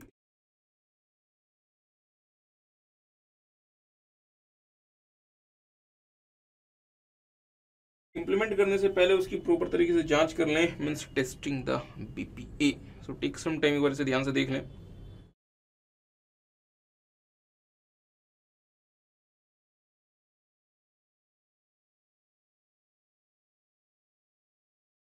okay. तो मेरे साथ साथ एक बार जल्दी से डियर से क्विकली एक बार रिवाइज कर लें। अगर मुझे अपने प्रोसेस का ऑटोमेशन करना है तो इंस्टीट्यूट कहता है एडहॉक बेसिस पे प्रोसेस का ऑटोमेशन ना कर दें। आठ स्टेप्स का आपको पालन करना पड़ेगा। सबसे पहले define why we plan to implement BPA सबसे पहले समझे सर जी, क्यों बीपीए करना चाहते हो? और यहाँ आपको जेनरिक रीजंस का पता चलेगा। और वो जेनरिक रीजंस हमारे क्या हो सकते हैं? Errors in manual processing, payment process not streamlined, poor data management, poor cash flow, poor customer services, lack of management and understanding of business process, unable to recruit and train new employees, unable to find documents quickly in case of audit or lawsuits, etc. etc. चले एक बार आपने एक बार आपको लगता है कि नहीं हमें बीपीए करना चाहिए कानून समझ लें कानून क्या कहता है लॉ आपको तीन बातें बता सकता है पहला क्या प्रोसेस का डॉक्यूमेंटेशन अलाउड है भी या नहीं अगर है तो कितना है और उससे जुड़े हुए डॉक्यूमेंट्स कितने समय तक रिटेन करने पड़ेंगे। जैसे आपको लॉ ने अलाउ कर दिया कि ठीक है, आप प्रोसेस का डॉक्यूमेंट का, आप ऑटोमेशन कर सकते हैं। अब उस प्रोसेस का डॉक्यूमेंटेशन कर लें। समझ लें कि प्रोसेस क्या है, कैसा है क्या क्या स्टेप्स इन्वॉल्व है। डॉक्यूमेंटेशन के दौरान पाँच बातों का ध्यान रखें। पाँच बातों का ध्यान रखें। क्या क्या डॉक्यूमेंट्स हैं? कहाँ से आए हैं, किस फॉर्मेट में है, कौन सा व्यक्ति उसकी प्रोसेसिंग में इन्वॉल्व है रेगुलेटरी इंपैक्ट क्या है। मतलब ये हुआ कि what documents needed to be captured in what format they are in PDF email paper okay from where okay where do they come from who is involve in the processing of this this documents and finally what are the regulatory impact on the processing of these documents चले, इसके बाद goals and objectives goals and objective smart होने चाहिए। S M A R T specific measurable attainable relevant और finally the timely goals and objectives के बाद BPC business process consultant को engage करें। बट बिज़नेस प्रोसेस कंसल्टेंट को engage करने से पहले उसके बारे में चार बातें देख लें। क्या कंसल्टेंट को आपके बिज़नेस प्रोसेस के बारे में एक्सपीरियंस है? क्या कंसल्टेंट आपके लिए क्रिटिकल बिज़नेस इश्यूज़ को रिजोल्व कर सकता है? अगर वो क्रिटिक अगर वो क्रिटिकल बिज़नेस इश्यूज़ को रिजोल्व करेगा तो कैसे करेगा? With the help of computers मतलब हार्डवेयर एंड सॉफ्टवेयर तो क्या कंसल्टेंट आपको हार्डवेयर और सॉफ्टवेयर का रिकमेंडेशन दे सकता है, जिससे आपकी बीपीए की रिक्वायरमेंट ये मतलब फुलफिल हो जाए? पर पर पता चला कि वो आपको बहुत महँगे हार्डवेयर सॉफ्टवेयर का रिकमेंडेशन दे दे तो इसलिए कंसल्टेंट को को जो भी प्रपोज सॉल्यूशन है, उसके बिज़नेस वैल्यू को बताना पड़ेगा। Means every aspect of the proposed solution the business value of the every aspect of the proposed solution ठीक बात है। चलिए, हमने कहा ये हो गया। कंसल्टेंट ने हमें खर्चे के बारे में बता दिया। तो हमें देखना पड़ेगा बीपीएसए में फ़ायदा कितना होना है, ताकि मैं उसका आर कैलकुलेट करूँ और फिर मैं देखूँगा कि मुझे बीपीए की तरफ़ जाना चाहिए या फिर नहीं जाना चाहिए। तो मुझे फ़ायदा कहाँ कहाँ से हो सकता है, सर जी? बीपीए के बाद कॉस्ट में कमी आ गई। बीपीए के बाद इंप्लॉय रिलेटेड कॉस्ट में कमी आ गई। बीपीए के बाद हमें ऑडिट नहीं कराना पड़ रहा। यहाँ पे ऑडिट का मतलब वो ऑडिट नहीं है जो आपका एनुअली होना ही होना है। ऑडिट का मतलब हुआ स्पेशल ऑडिट और हमें बेवजह के हमें कानूनन उलझनों में भी नहीं फंसना। बीपीए के बाद कस्टमर सेटिस्फेक्शन बढ़ गया जिससे मेरे लिए रेवेन्यू जनरेशन अपॉर्चुनिटी बढ़ गई। कैश फ्लो इंप्रूव हो गया डेट मैनेजमेंट इंप्रूव हो गया और बीपीए की वजह से हमारे एरर्स और मिस्टेक्स कम हो गए जिससे हमें पेनल्टीज और फाइन्स नहीं देनी जिससे हमें फ़ायदा होगी ओके okay, जैसे आप आर कैलकुलेट कर लेंगे अगर आपको लगता है no R is for us is sufficient तो आप बीपीए को डेवलप करें और उसे इंप्लीमेंट करने से पहले प्रॉपर तरीके से उसकी जाँच कर लें। Means testing the BPA I hope आपको बात समझ आई। तो एक काम करते हैं कुछ और छोटी छोटी बातें देख लेते हैं। ओके okay, सवाल बनता है किन किन प्रोसेसेस का एंटिटी ऑटोमेशन करती थी? मेरी बात पे ध्यान देंगे डियर फ्रेंड्स हज़ारों ऐसे प्रोसेस हो सकते हैं जिसका ऑटोमेशन किया जा सकता है बट कुछ खास प्रोसेस या कुछ कॉमन प्रोसेस जिसका बहुत ज़्यादा ऑटोमेशन देखने को मिलता है। पहला tracking movement of goods company अपने रॉ मटेरियल की मूवमेंट ट्रैक करती है। फिनिश गुड्स को कस्टमर तक कितनी जल्दी पहुँचे उसे ट्रैक करती है उसका ऑटोमेशन कर देती है जैसे फॉर एग्ज़ाम्पल आपने फ्लिपकार्ट से ऑर्डर प्लेस किया। फ्लिपकार्ट आपको अपडेट करता रहता है कि ये प्रोडक्ट आपसे कितना पास पहुँच चुका है। तो डियर ये अपडेशन कैसे पॉसिबल है? जब फ्लिपकार्ट ने उस पूरी प्रक्रिया का ऑटोमेशन किया हुआ है। ठीक बात है। सेल्स ऑर्डर प्रोसेसिंग कस्टमर ने ऑर्डर दिया कंपनी क्या चाहेगी? जितना जल्दी ऑर्डर मिला जितने जल्दी उसको प्रोसेस करके कस्टमर को गुड्स देके पैसे ले लो तो इसलिए हम सेल्स ऑर्डर प्रोसेसिंग का भी क्या कर दिया करते हैं? ऑटोमेशन कस्टमर सर्विसेज़ डिपार्टमेंट जैसे हमने अभी आपको साउथ वेस्ट का एग्ज़ाम्पल दिया था साउथ वेस्ट कंपनी ने अपने कस्टमर सर्विस डिपार्टमेंट का ऑटोमेशन कर दिया कि आप जब भी कस्टमर केयर को फ़ोन को आ, मतलब यू विल कॉल तो अब अब वहाँ पे मैनुअली लोग आपको आंसर नहीं देंगे वो सारा का सारा कुछ ऑटोमेटिक हो गया।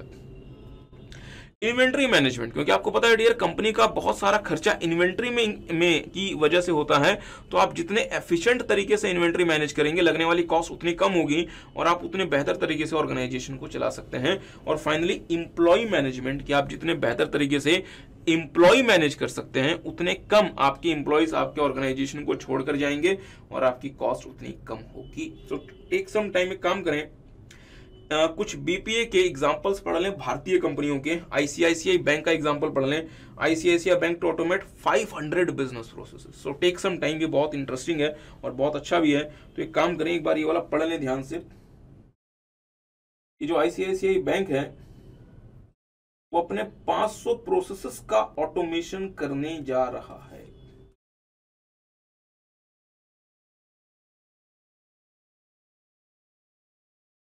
ध्यान से पढ़ लें ICICI bank to automate 500 business processes नहीं पहले पढ़ लें इसके बाद कुछ आगे बातें होंगी।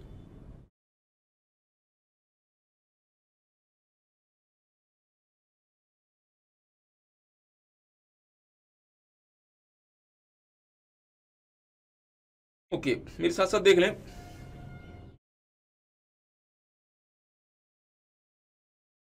The bank has already automated 200 business processes and it will soon uh, take it to 500. मतलब वो बैंक ने 200 बिज़नेस प्रोसेस का ऑलरेडी ऑटोमेशन किया हुआ है और इसे ये 500 लेके जा के तक लेकर जाना चाहता है after bps some of the high volume tasks like reconciliation of atm transaction and updation of TDS declaration on fix deposits have been automated मतलब ये हुआ कि एटीएम रिकंसिलिएशन का काम जो पहले इंप्लॉयज किया करते थे, जिसमें उनका बहुत ज़्यादा टाइम खराब हो जाया करता था इंप्लॉयज को हमें अच्छी खासी सैलरी देनी पड़ती है, और एटीएम रिकंसिलिएशन जैसा मामूली काम जो पहले इंप्लॉय का कीमती समय लग जाया करता था, अब वो इंप्लॉयज नहीं करेंगे, अब वो ऑटोमेटिक हो जाएगा। मीन्स ऑटोमेटिकली एटीएम के ट्रांजेक्शन आपके एक्चुअल अकाउंट बैलेंस से रिकंसिलिएट हो जाएँगे। दूसरा फिक्स डिपॉजिट में इंटरेस्ट कट जाता है बैंक की तरफ़ से। बट अगर आप चाहते हैं आपके एफडी में इंटरेस्ट ना कटे तो आपको पंद्रह आपको फिफ्टीन जी फिफ्टीन एच जैसे फॉर्म्स जमा करने पड़ते हैं बैंक में।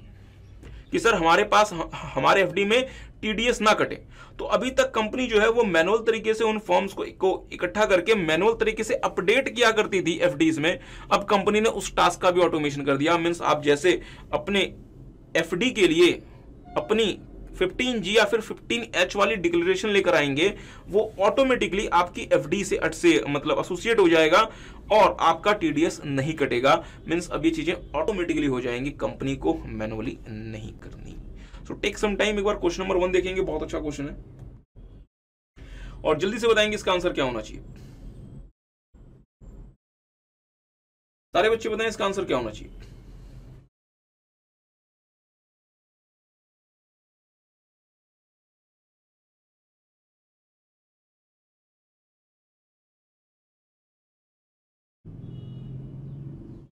Question number one. ओके, मेरे साथ साथ देख लें। आई होप आपने अपने अपने आंसर पिक कर लिए होंगे। Consider the following aspects about BPA as BPA uses latest and advance technologies it is virtually risk free मुझे बताएँ, क्या एग्री करेंगे बीपीए रिस्क फ्री होता है? क्या डियर इस दुनिया में कोई भी चीज़ रिस्क फ्री हो सकती है? एंड नहीं सर मीन पहला स्टेटमेंट तो गलत है। BP implementation in any organisation is not okay not an ad hoc exercise and involves around eight steps ध्यान दीजिएगा that should be perform by the मतलब बीपी आपको एडॉक तरीके से नहीं करना और उसमें आठ स्टेप्स इन्वॉल्व होते हैं ये बात तो सही है Having the well-planned BPA implementation exercise which is properly executed can provide significant competitive advantage to the entity related to its competitor. अगर आपने सही तरीके से BPA प्लान करके इंप्लीमेंट कर लिया तो आपको आपके कॉम्पिटिटर्स के मुकाबले फ़ायदा होगा। बट ऑब्वियसली बात है सर, मेरा कॉम्पिटिटर मैनुअली कर रहा है। मैं उस काम को अगर ऑटोमेटिक तरीके से कर पाता हूँ तो मुझे उसके मुकाबले एक एडवांटेज मिलेगा, जो कहलाता है कॉम्पिटेटिव एडवांटेज जो हम आपके साथ स्ट्रेटेजिक मैनेजमेंट में देखेंगे। तो ये बात भी सही है। Okay there are certain objective okay ये ध्यान देने वाली बात है। Needed to be achieved for considering the BP exercise as successful okay okay and ascertainability is one of them ध्यान दीजिएगा। कुछ ऑब्जेक्टिव्स होते हैं बीपीए को सफल मान लेने के लिए, और उसमें से एक असर्टेनिबिलिटी है। ऑब्जेक्टिव क्या क्या होते थे? कॉन्फिडेंशियलिटी इंटीग्रिटी अवेलेबिलिटी और फाइनली द टाइमलीनेस तो डियर ए से अवेलेबिलिटी है, ना कि असर्टेनिबिलिटी है। इसलिए कंफ्यूज ना हो। ए से एक ऑब्जेक्टिव है बट वो ऑब्जेक्टिव क्या है? असर्टेनेबिलिटी ना कि अवेलेबिलिटी मीन ये स्टेटमेंट गलत है। तो हमारे लिए करेक्ट ऑप्शन क्या हो गया? Two and three means the correct option is B तो आप में से जिन बच्चों ने बी आंसर लिखा है डियर बहुत बहुत बधाई। आपका आंसर बिल्कुल सही है। जल्दी से क्वेश्चन नंबर टू देख लें। Which of the following is an odd okay odd का मतलब होता है अनरिलेटेड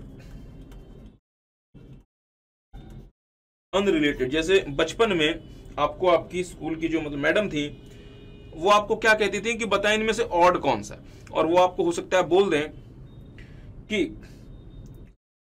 कुछ नाम आपको दे दें। जैसे जैसे सर जी कुछ नाम तो बताओ। जैसे हो सकता है आ, मोहन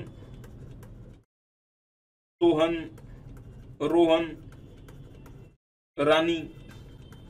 तो बताएँ इसमें से ऑड क्या है?